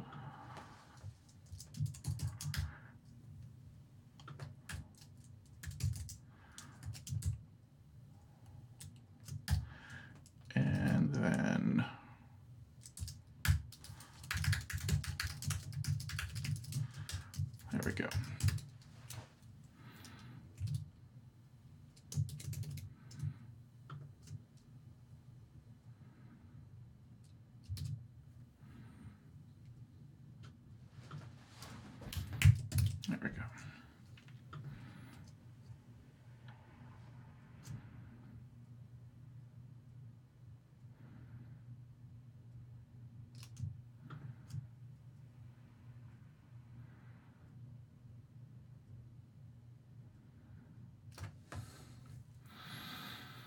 Hmm.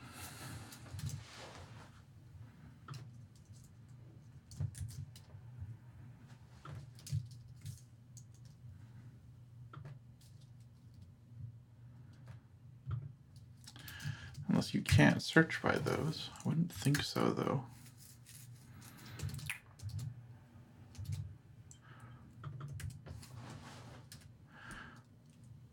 It's called when the player is ready.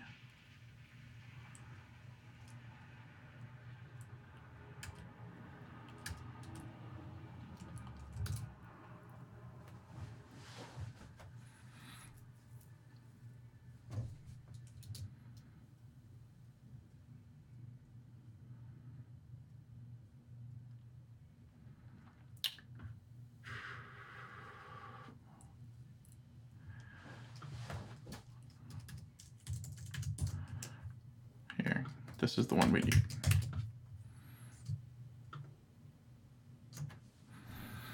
So we don't want to get there until the player's actually wanting to be played.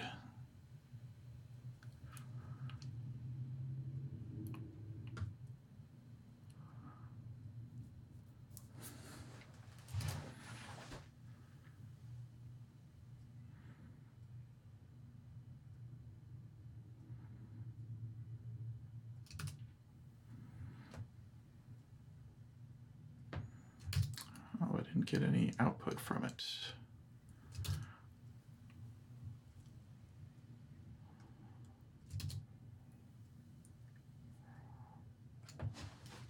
it. Hmm.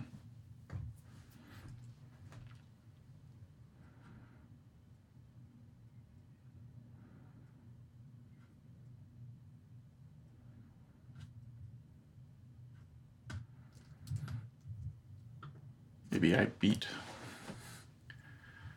the rebuild.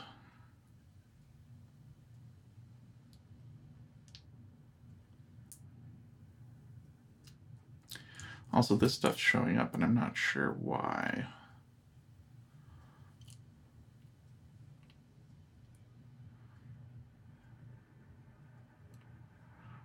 I think that um, I should check that out. So let's look at differences on the home. Video wrapper.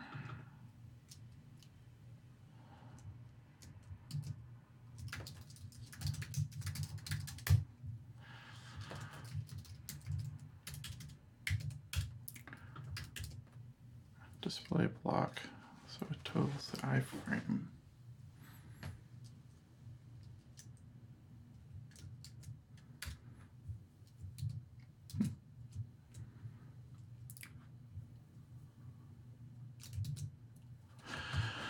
Oh, why is that not working? Online, offline, resize all players. Ah.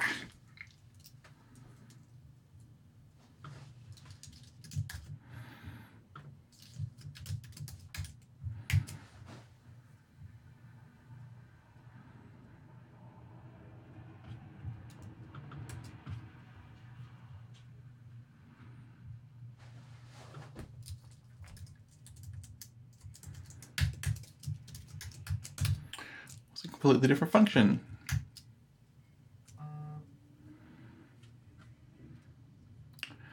All right, so it got Astrocast video null.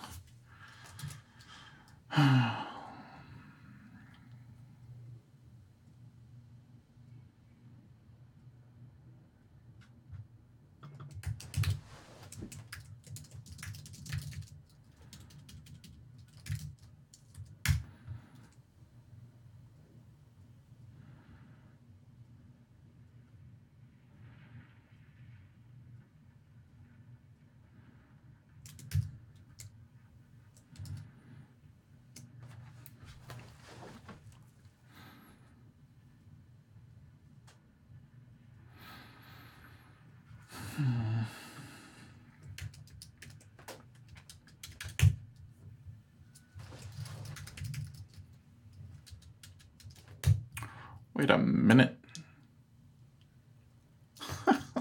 oh. Good job, Beau.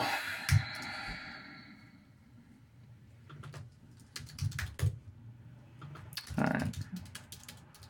I think this is going to go a long way to getting this to work right. So, Astrocast video is the name of the component. not Astrocast. So, all right, so it actually gets video. Okay, so um, the thing going on here is that we aren't actually trying to resize anything. So we have our, our video now, and what we need to do is tell it to try to redraw itself. So we'll call this video. Um, and what we were doing in the video component before was getting the iframe at the time that um, uh, at the time that the component was constructed. Uh, what I think we need to do is instead put it elsewhere. So let's do um, uh, init, which is nice and generic. Uh, but I want us to do that there. So here we go. See, what was there before?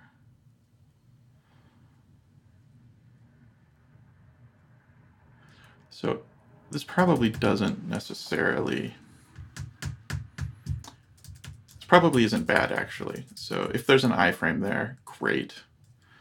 Um, but we probably don't need it. Um, so this is attach shadow root. Let's just create the shadow root. And then call init. Not query selector iframe if not iframe, return.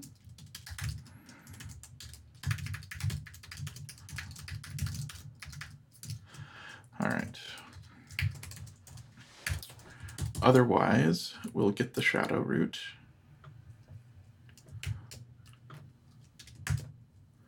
And then we can do stuff with it.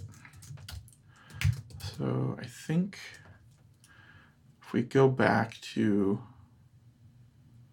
live sessions five, it still works as it did before, which is good. If we go to the home page,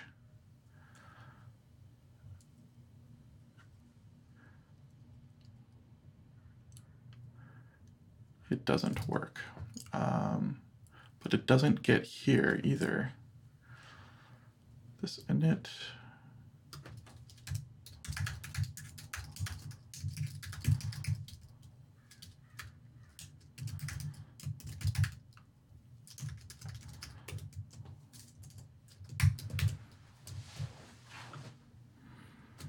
All right, it does get into init. Uh, apparently it's finding an iframe already.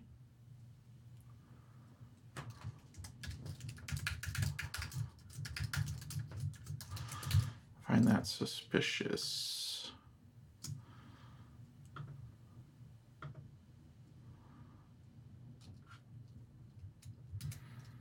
Huh.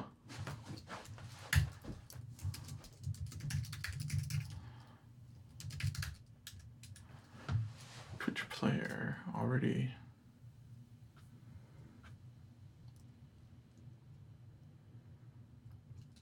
Wow.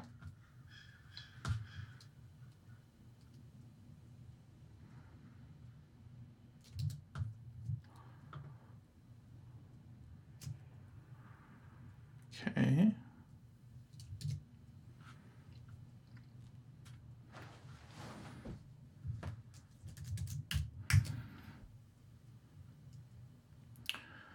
Live video.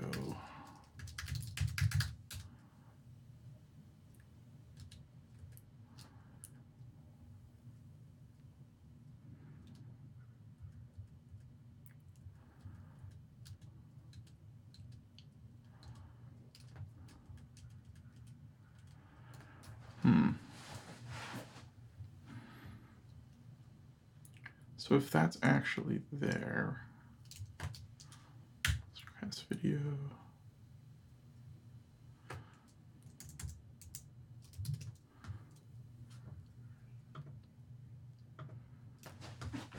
We have width here. Yeah, we do.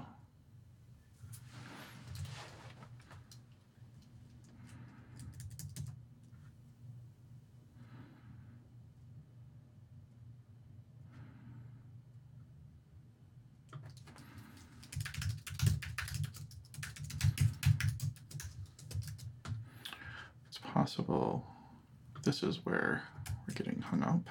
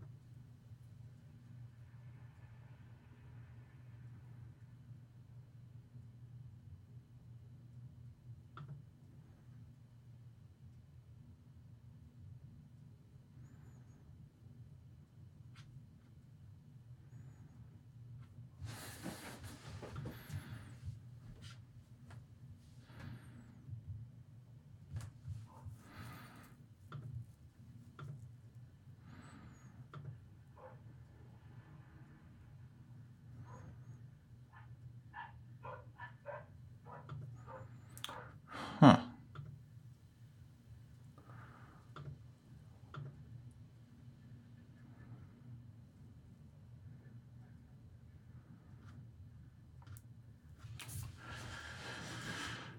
Is there another?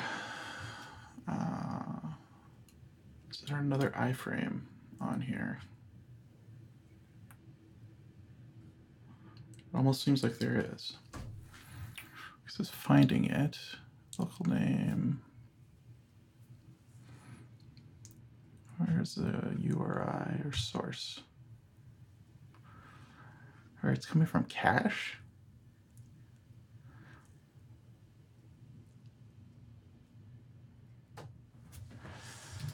Hmm.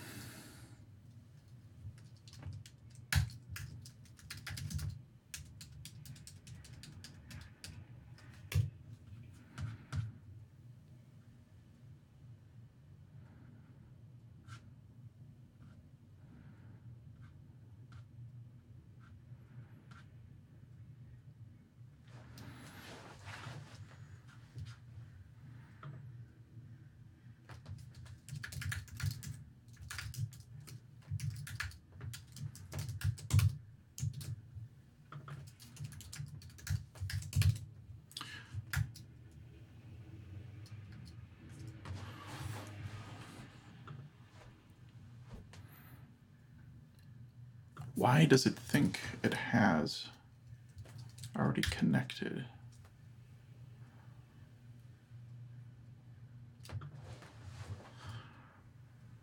Selector iframe.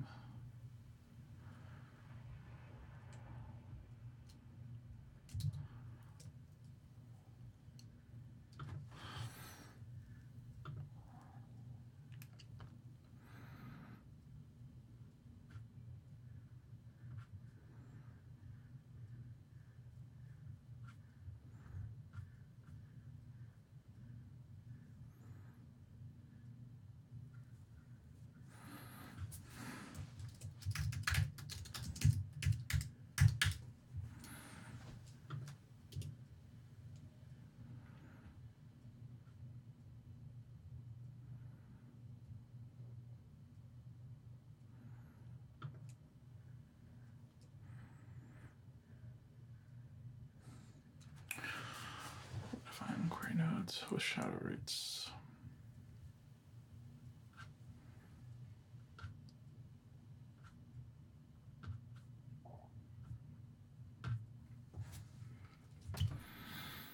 Hmm.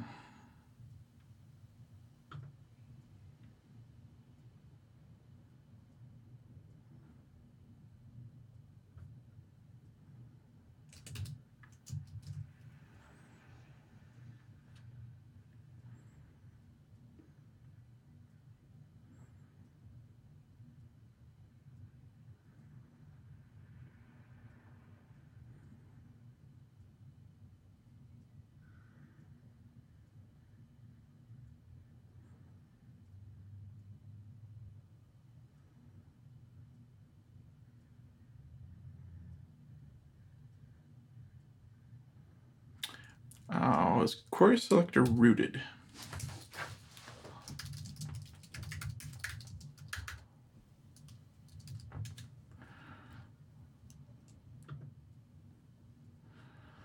Uh, selector.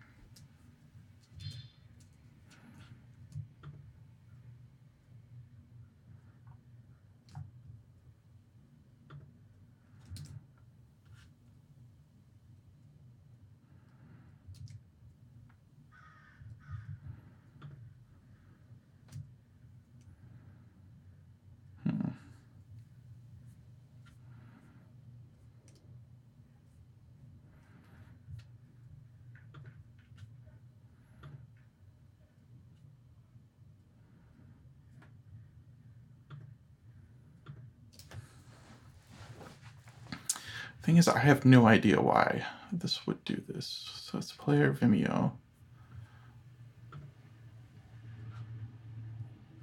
Like I wouldn't mind if I knew it actually had that that iframe immediately, but I don't think it does.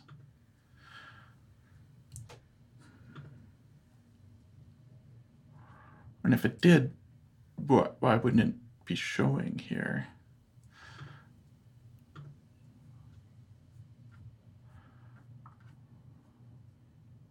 Ah, with okay. Uh, I'm betting this is going to get updated. once the iframe actually shows up.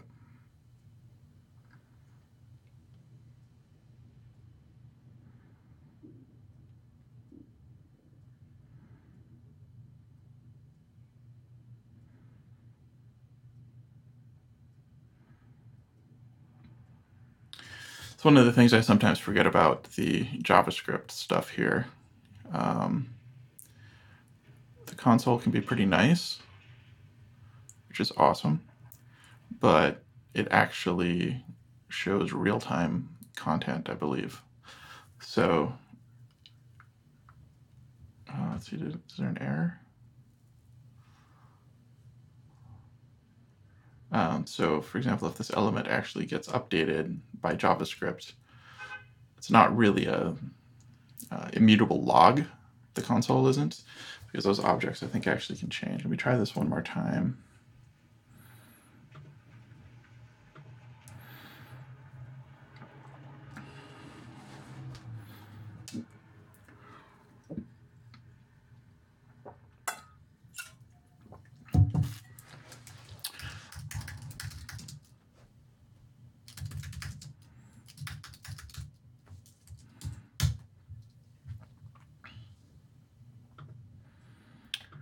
see here, mutation observer.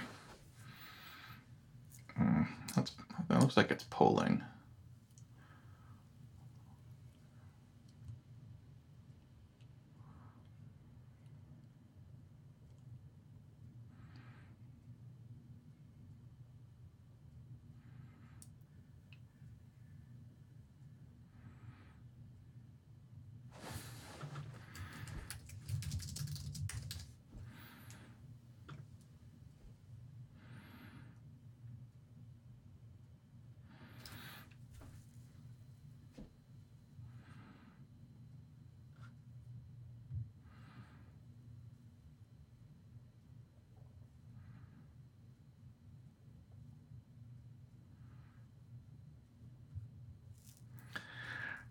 know if I care about Opera Mini. So let's see here. Such relative.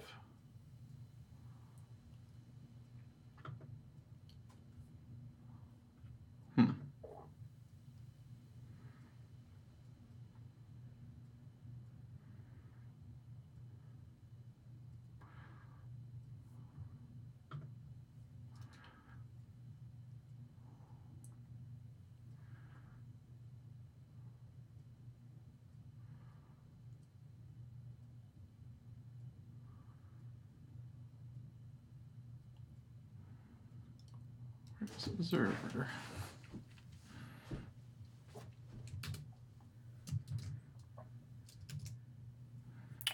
Well, this it looks like the iframe player isn't doing anything at all anymore. So I don't know if I broke that.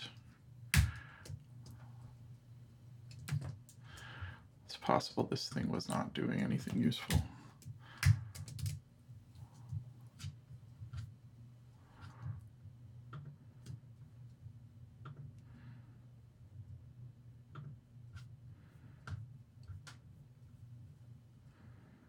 So still has width and height of zero.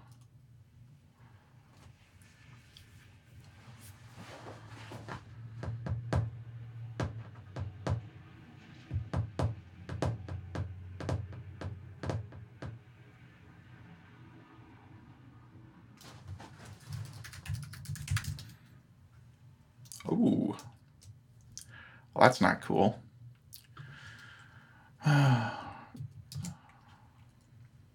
Pretty sure I know what that is. I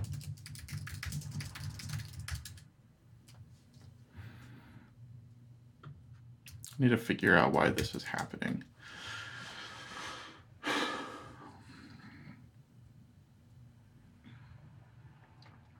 For some reason that cache on the Redis instance gets flushed.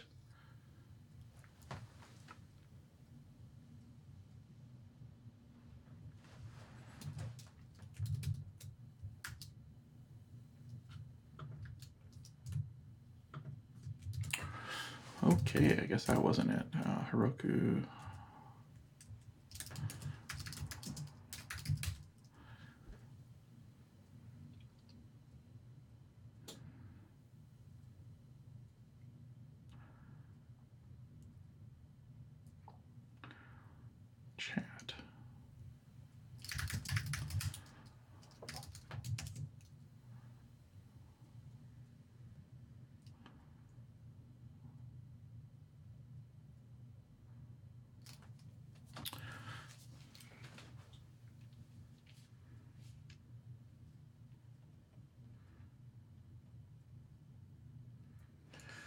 Um, oh, fun. Apparently, I needed to have added this, and I forgot. I actually forgot both of these. All right, so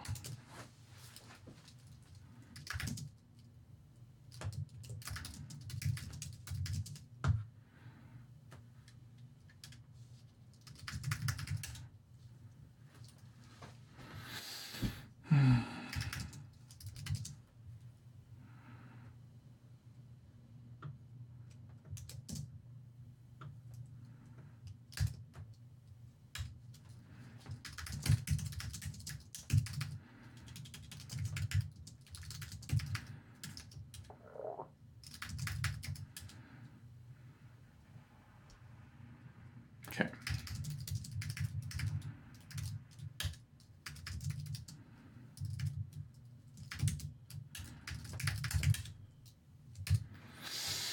Okay, so it's going to take a bit to load. So where were we again?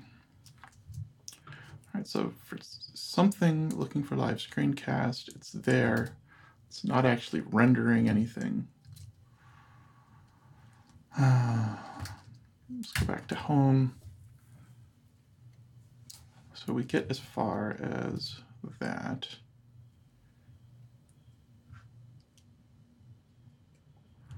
Um,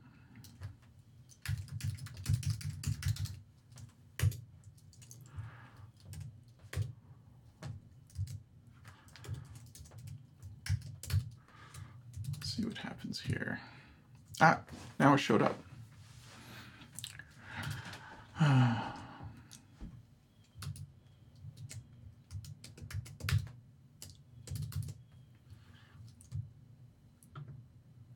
Um,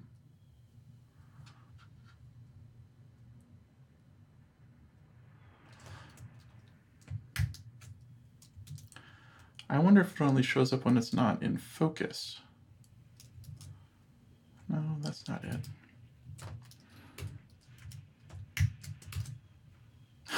what is going on? Oh.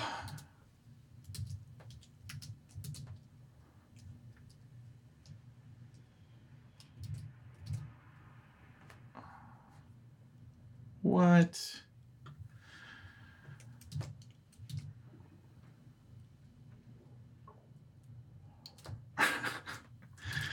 Oh. Something about bugs that only happen when you're observing them. Twitch player.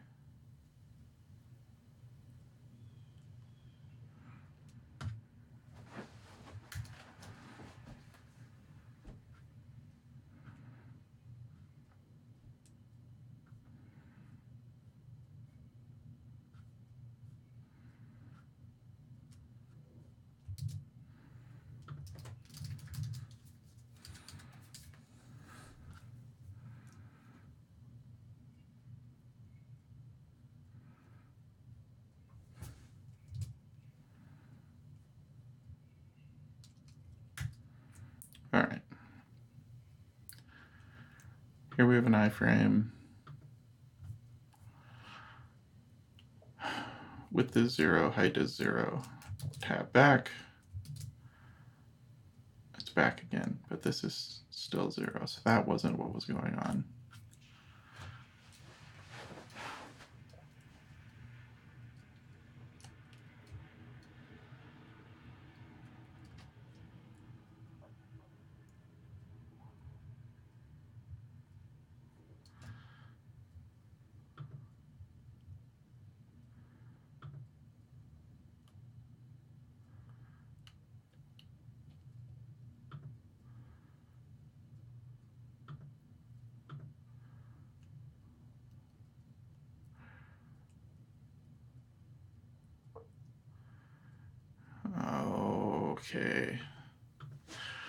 is putting the iframe inside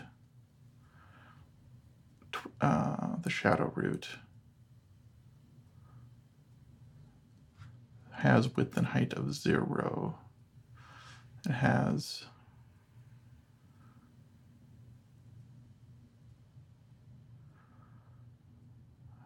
an aspect ratio. If I tab away, tab back, now it has the right width, the right height.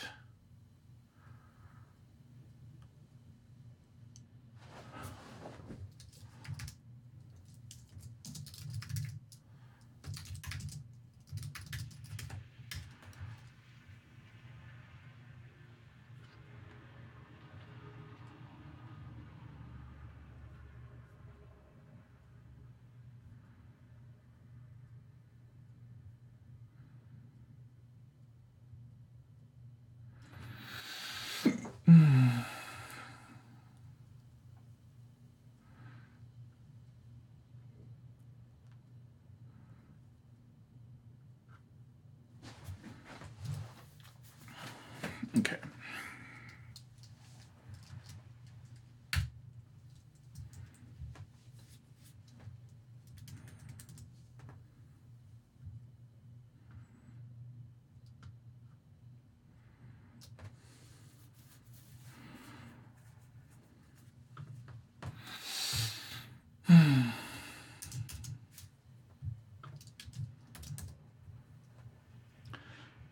if we add all of the children?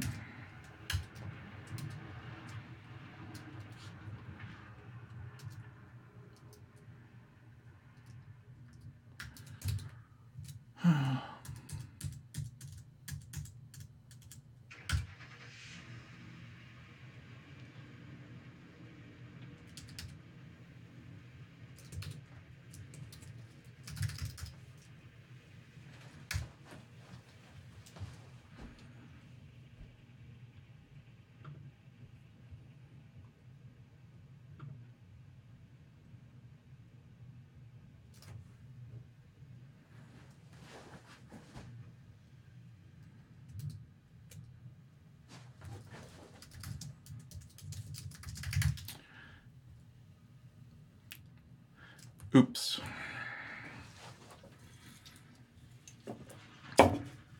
Okay, so let's get back to this. Um, I really don't know much about the shadow root and why it would behave differently, but one thing that might be possibly conflicting here would be this Twitch player. Like, I don't know Um, I'm not sure what's supposed to happen to that. So I'm going to remove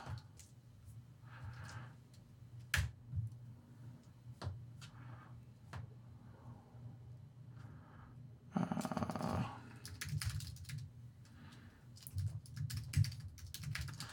remove this part.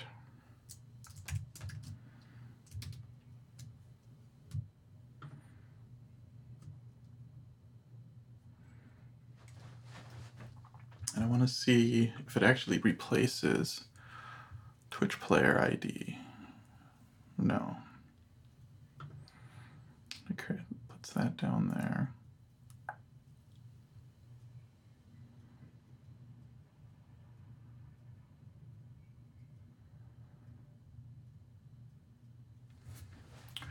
So I'm just going to move everything in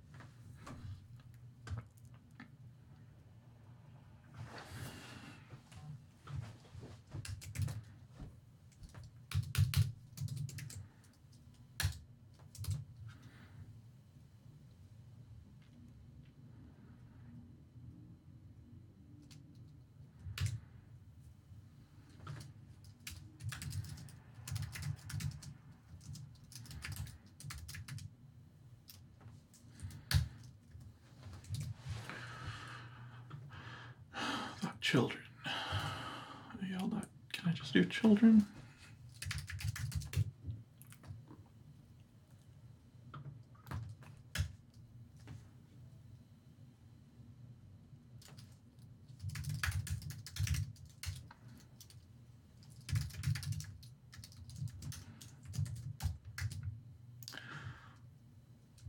Actually, I think I might want, I might need to clone those.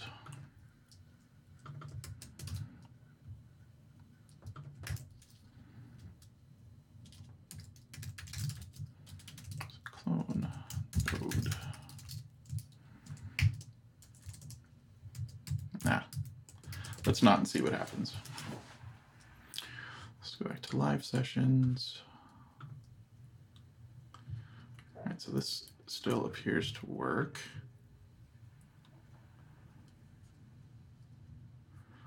The home page.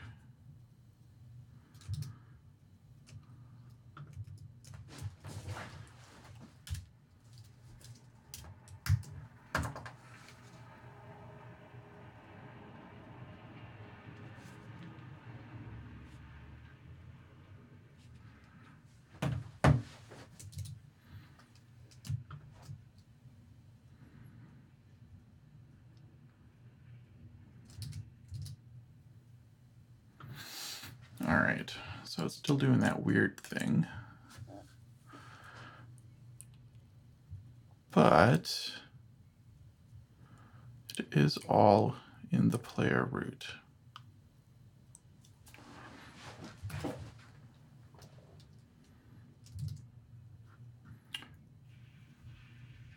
Now we just need to figure out why it's not expanding right. Um, Twitch no underline.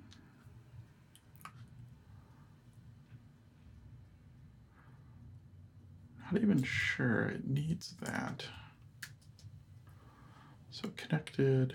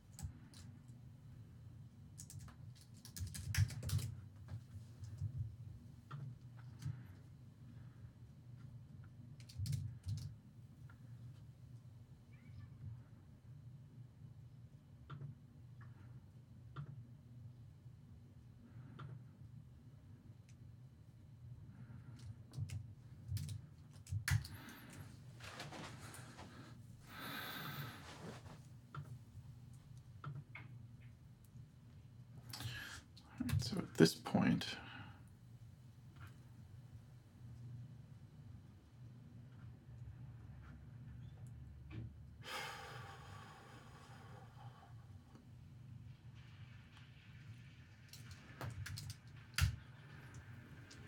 so what I think's going on is that at this point, when it's initialized,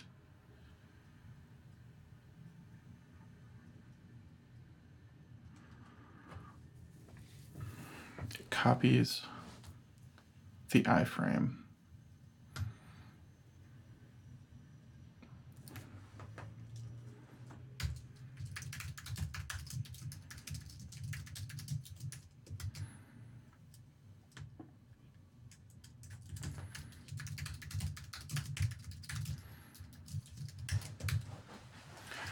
And if I have to guess, I'm going to say the init called undefined children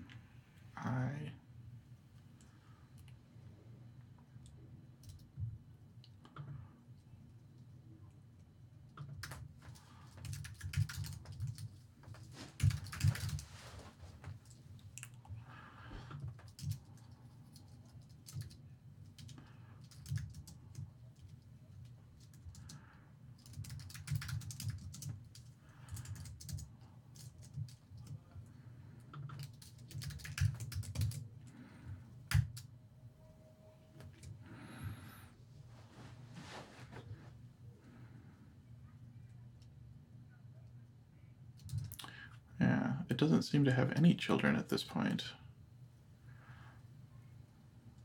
This dot children. Why does it get in here then?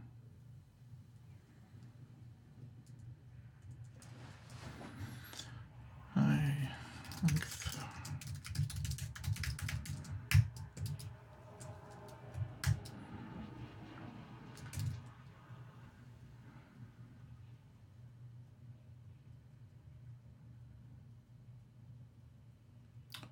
What?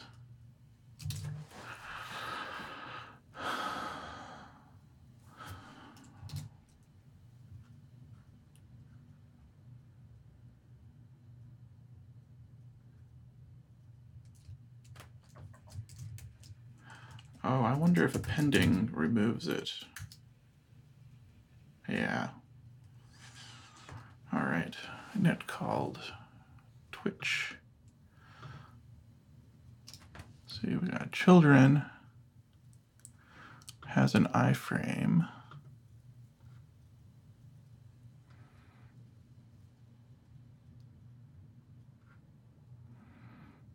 Width is zero. So there we go.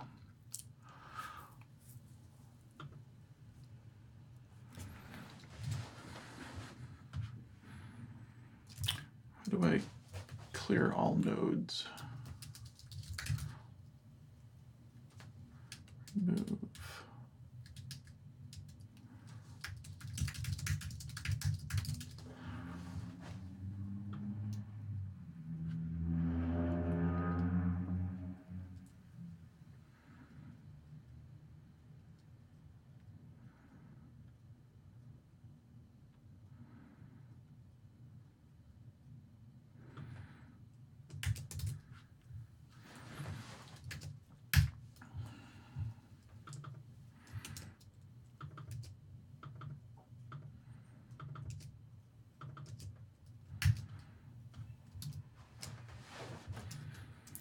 I'm gonna see if I can have init called multiple times.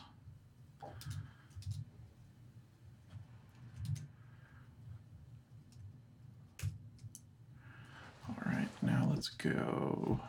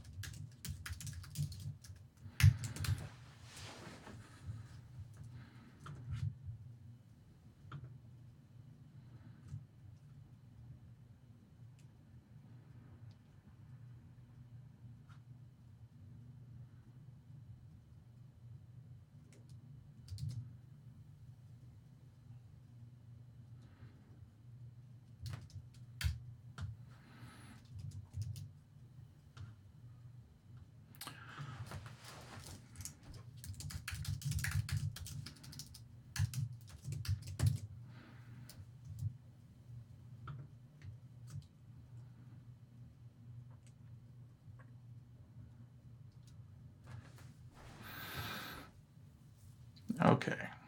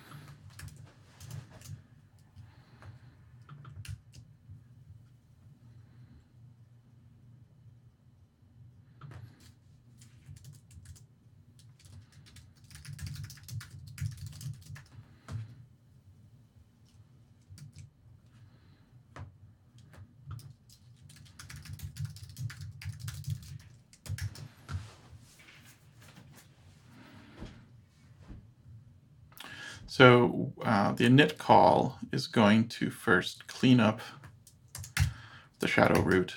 It's then going to copy, or it's going to clone all the children into the shadow root. After it does that, it's going to set up a resize. Uh, res- setup resize is going to be the thing that looks real time to see what the width height are of everything. Iframe set attribute. Um, so the idea here being that when we call init externally, after we know something has potentially changed, um, it'll set up the resizing again. After it's connected initially, we're going to call uh, setup resize also. So it's going to make sure everything's ready to go but the first time it resizes. So hopefully this is just going to work. Ooh, shadow is not defined. Right.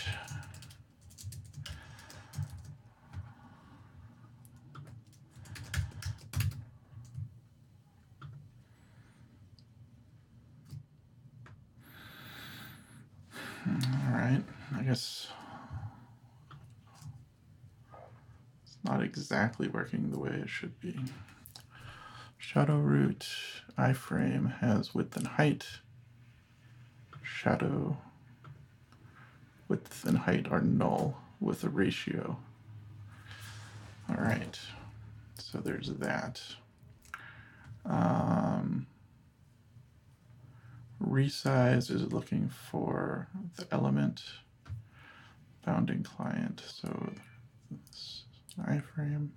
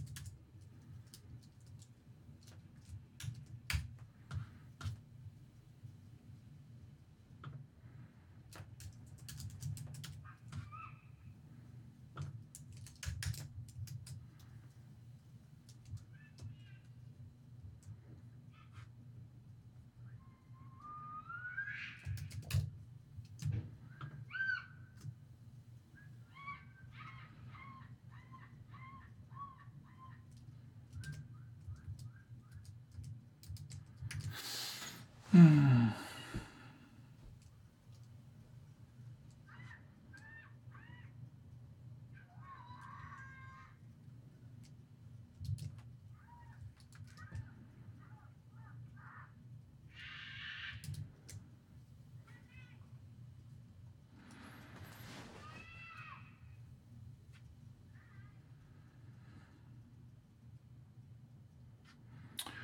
All right, let's switch this then.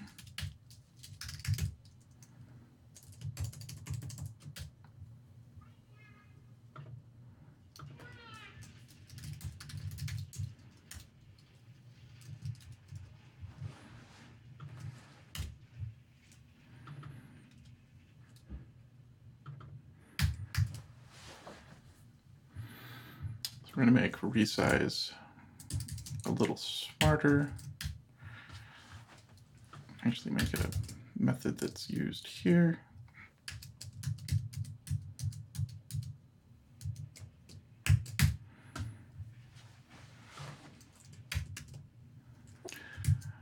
Why is that not working? There we go.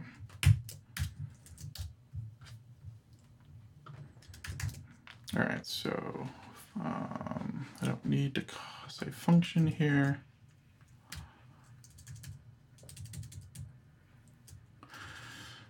I'm not getting these. I'm going to get shadow and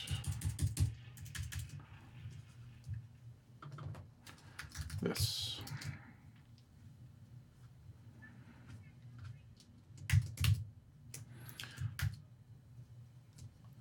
iframe is not defined.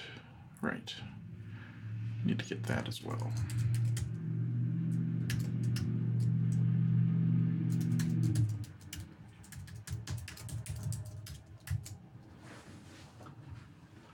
We don't even need it here.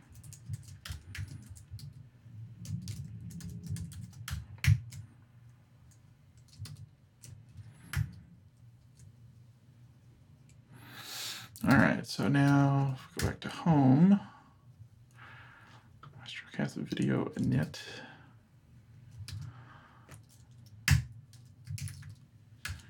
Resize.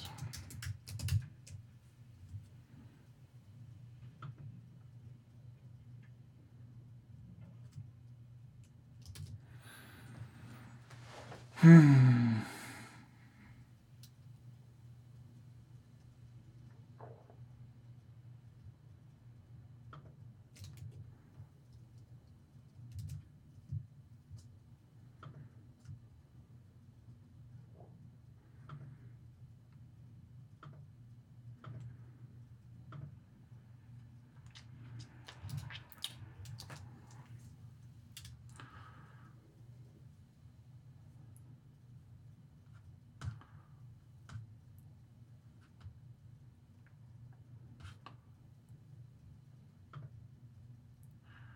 This dot get bounding client rectangle.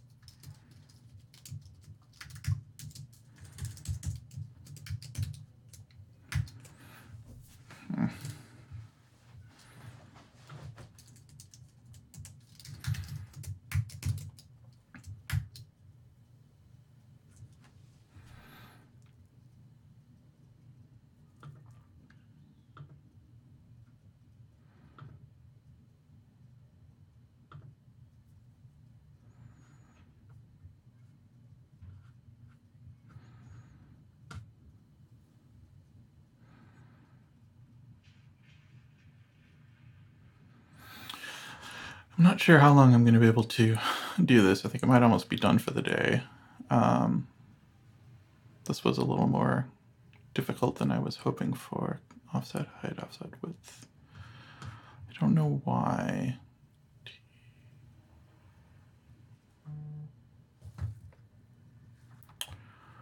Uh, next text, node name.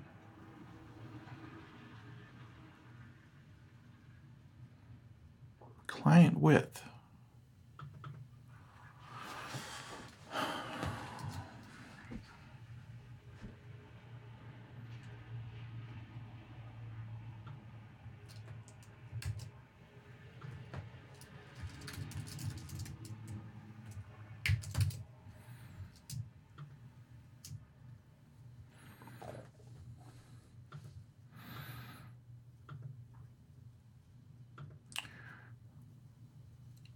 wonder if that's because it's hidden at that point.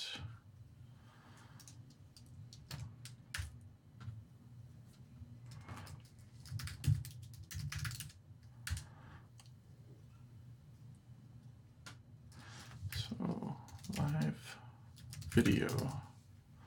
Ah, it's hidden.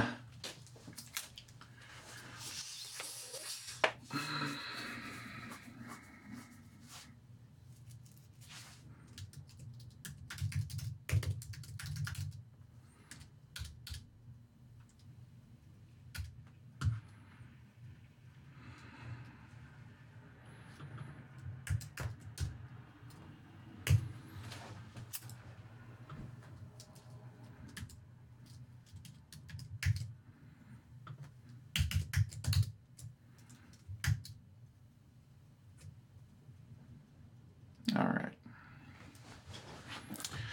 So the problem was that you don't have an actual client bounding rectangle.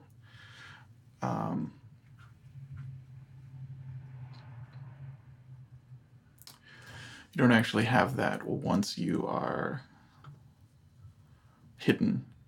So this makes it so it works better. Um,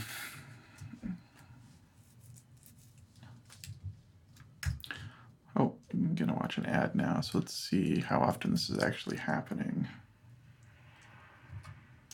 Uh, so init player resizer. So really all I need to do there is probably resize. I don't think I need to initialize it again. Let's see if that's true.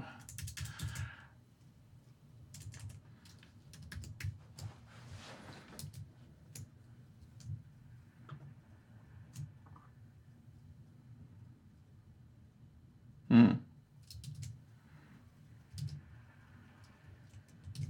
Yes, I do.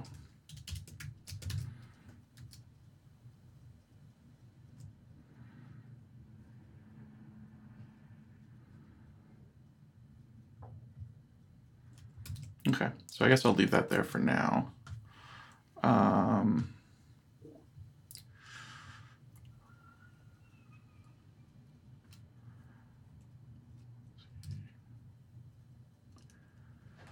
I don't know if I can figure out.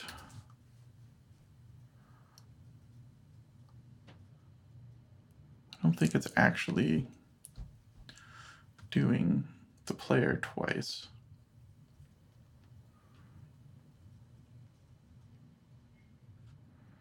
Well, let's let's maybe leave it at that for now. Let's go to live sessions, make sure that we didn't break this.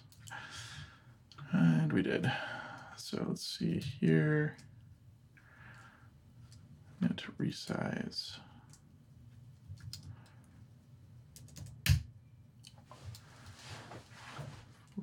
Width.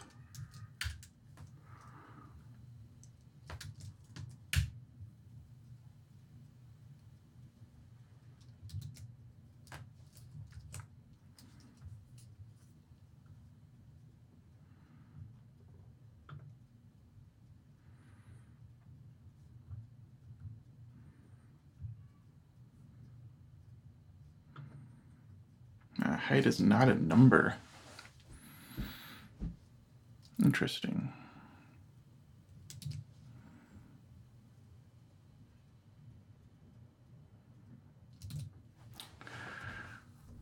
Hmm. There's no data aspect ratio.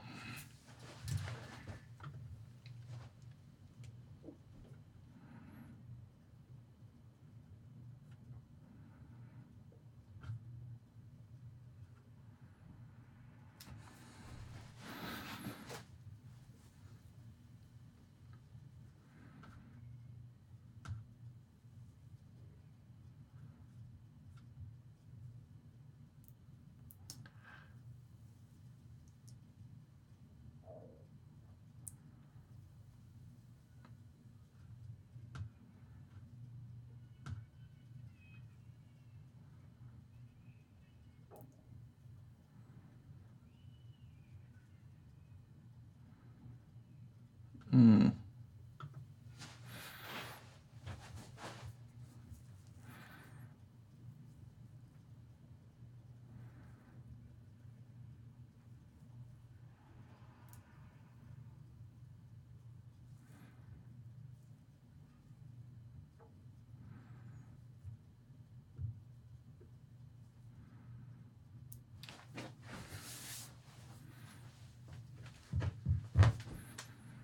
All right, so this is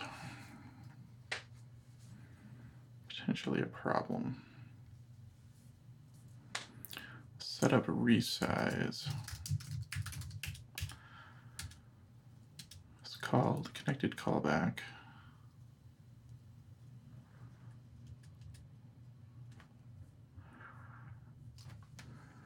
And an in the net.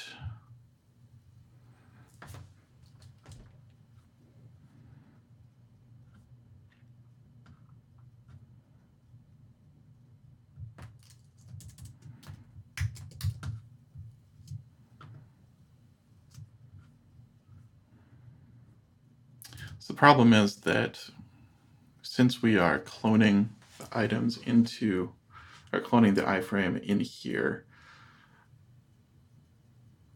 the width and height are going to be set but the aspect ratio uh, won't be. So when you call resize, it needs data aspect ratio. But it's not there.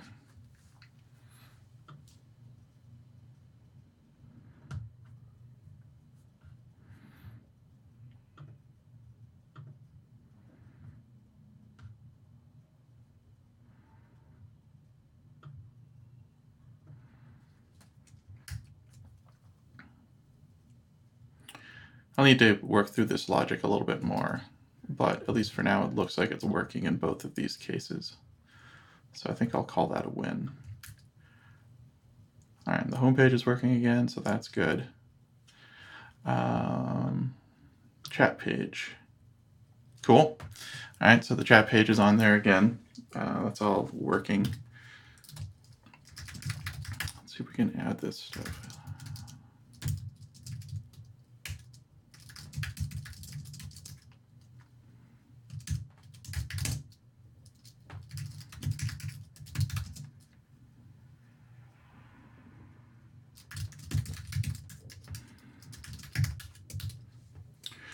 And as long as we can see it live, um,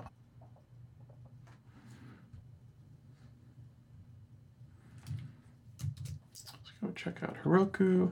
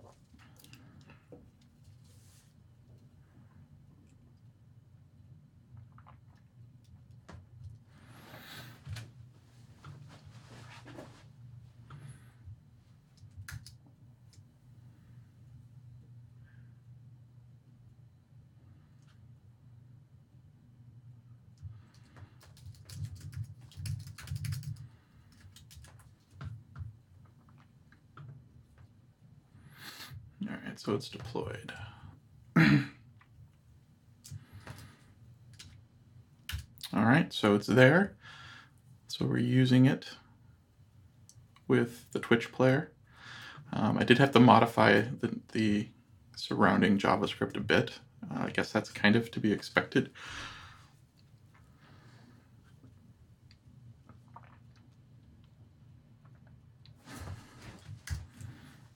Let's see, scale? Yep, looks like it's doing that all right. Uh, diff undefined. Hmm.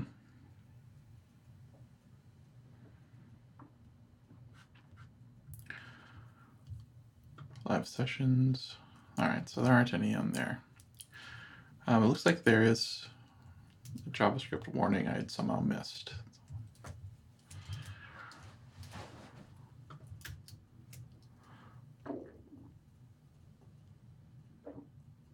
Ah, uh, it's probably looking at the, uh, it's actually the other web component. Okay. All right, so I think this is probably going to be good, at least for now. Um, I can probably start uh, putting up the live uh, session recordings um, after this um, because now there's actually a player. It sort of looks, uh, well, it looks reasonable. So we'll have to just play with it like that, I think. Um, yeah, so that's the second web component. Still pretty excited about them, although um, looks like I need to read up a bit on the Shadow DOM, find out what the deal is with that. Um, cool. Well, thanks for joining the session. If you have any questions, uh, find me on uh, Twitter, send me an email, visit the website, join the Discord channel. Um, yeah, would love to see you. Thanks.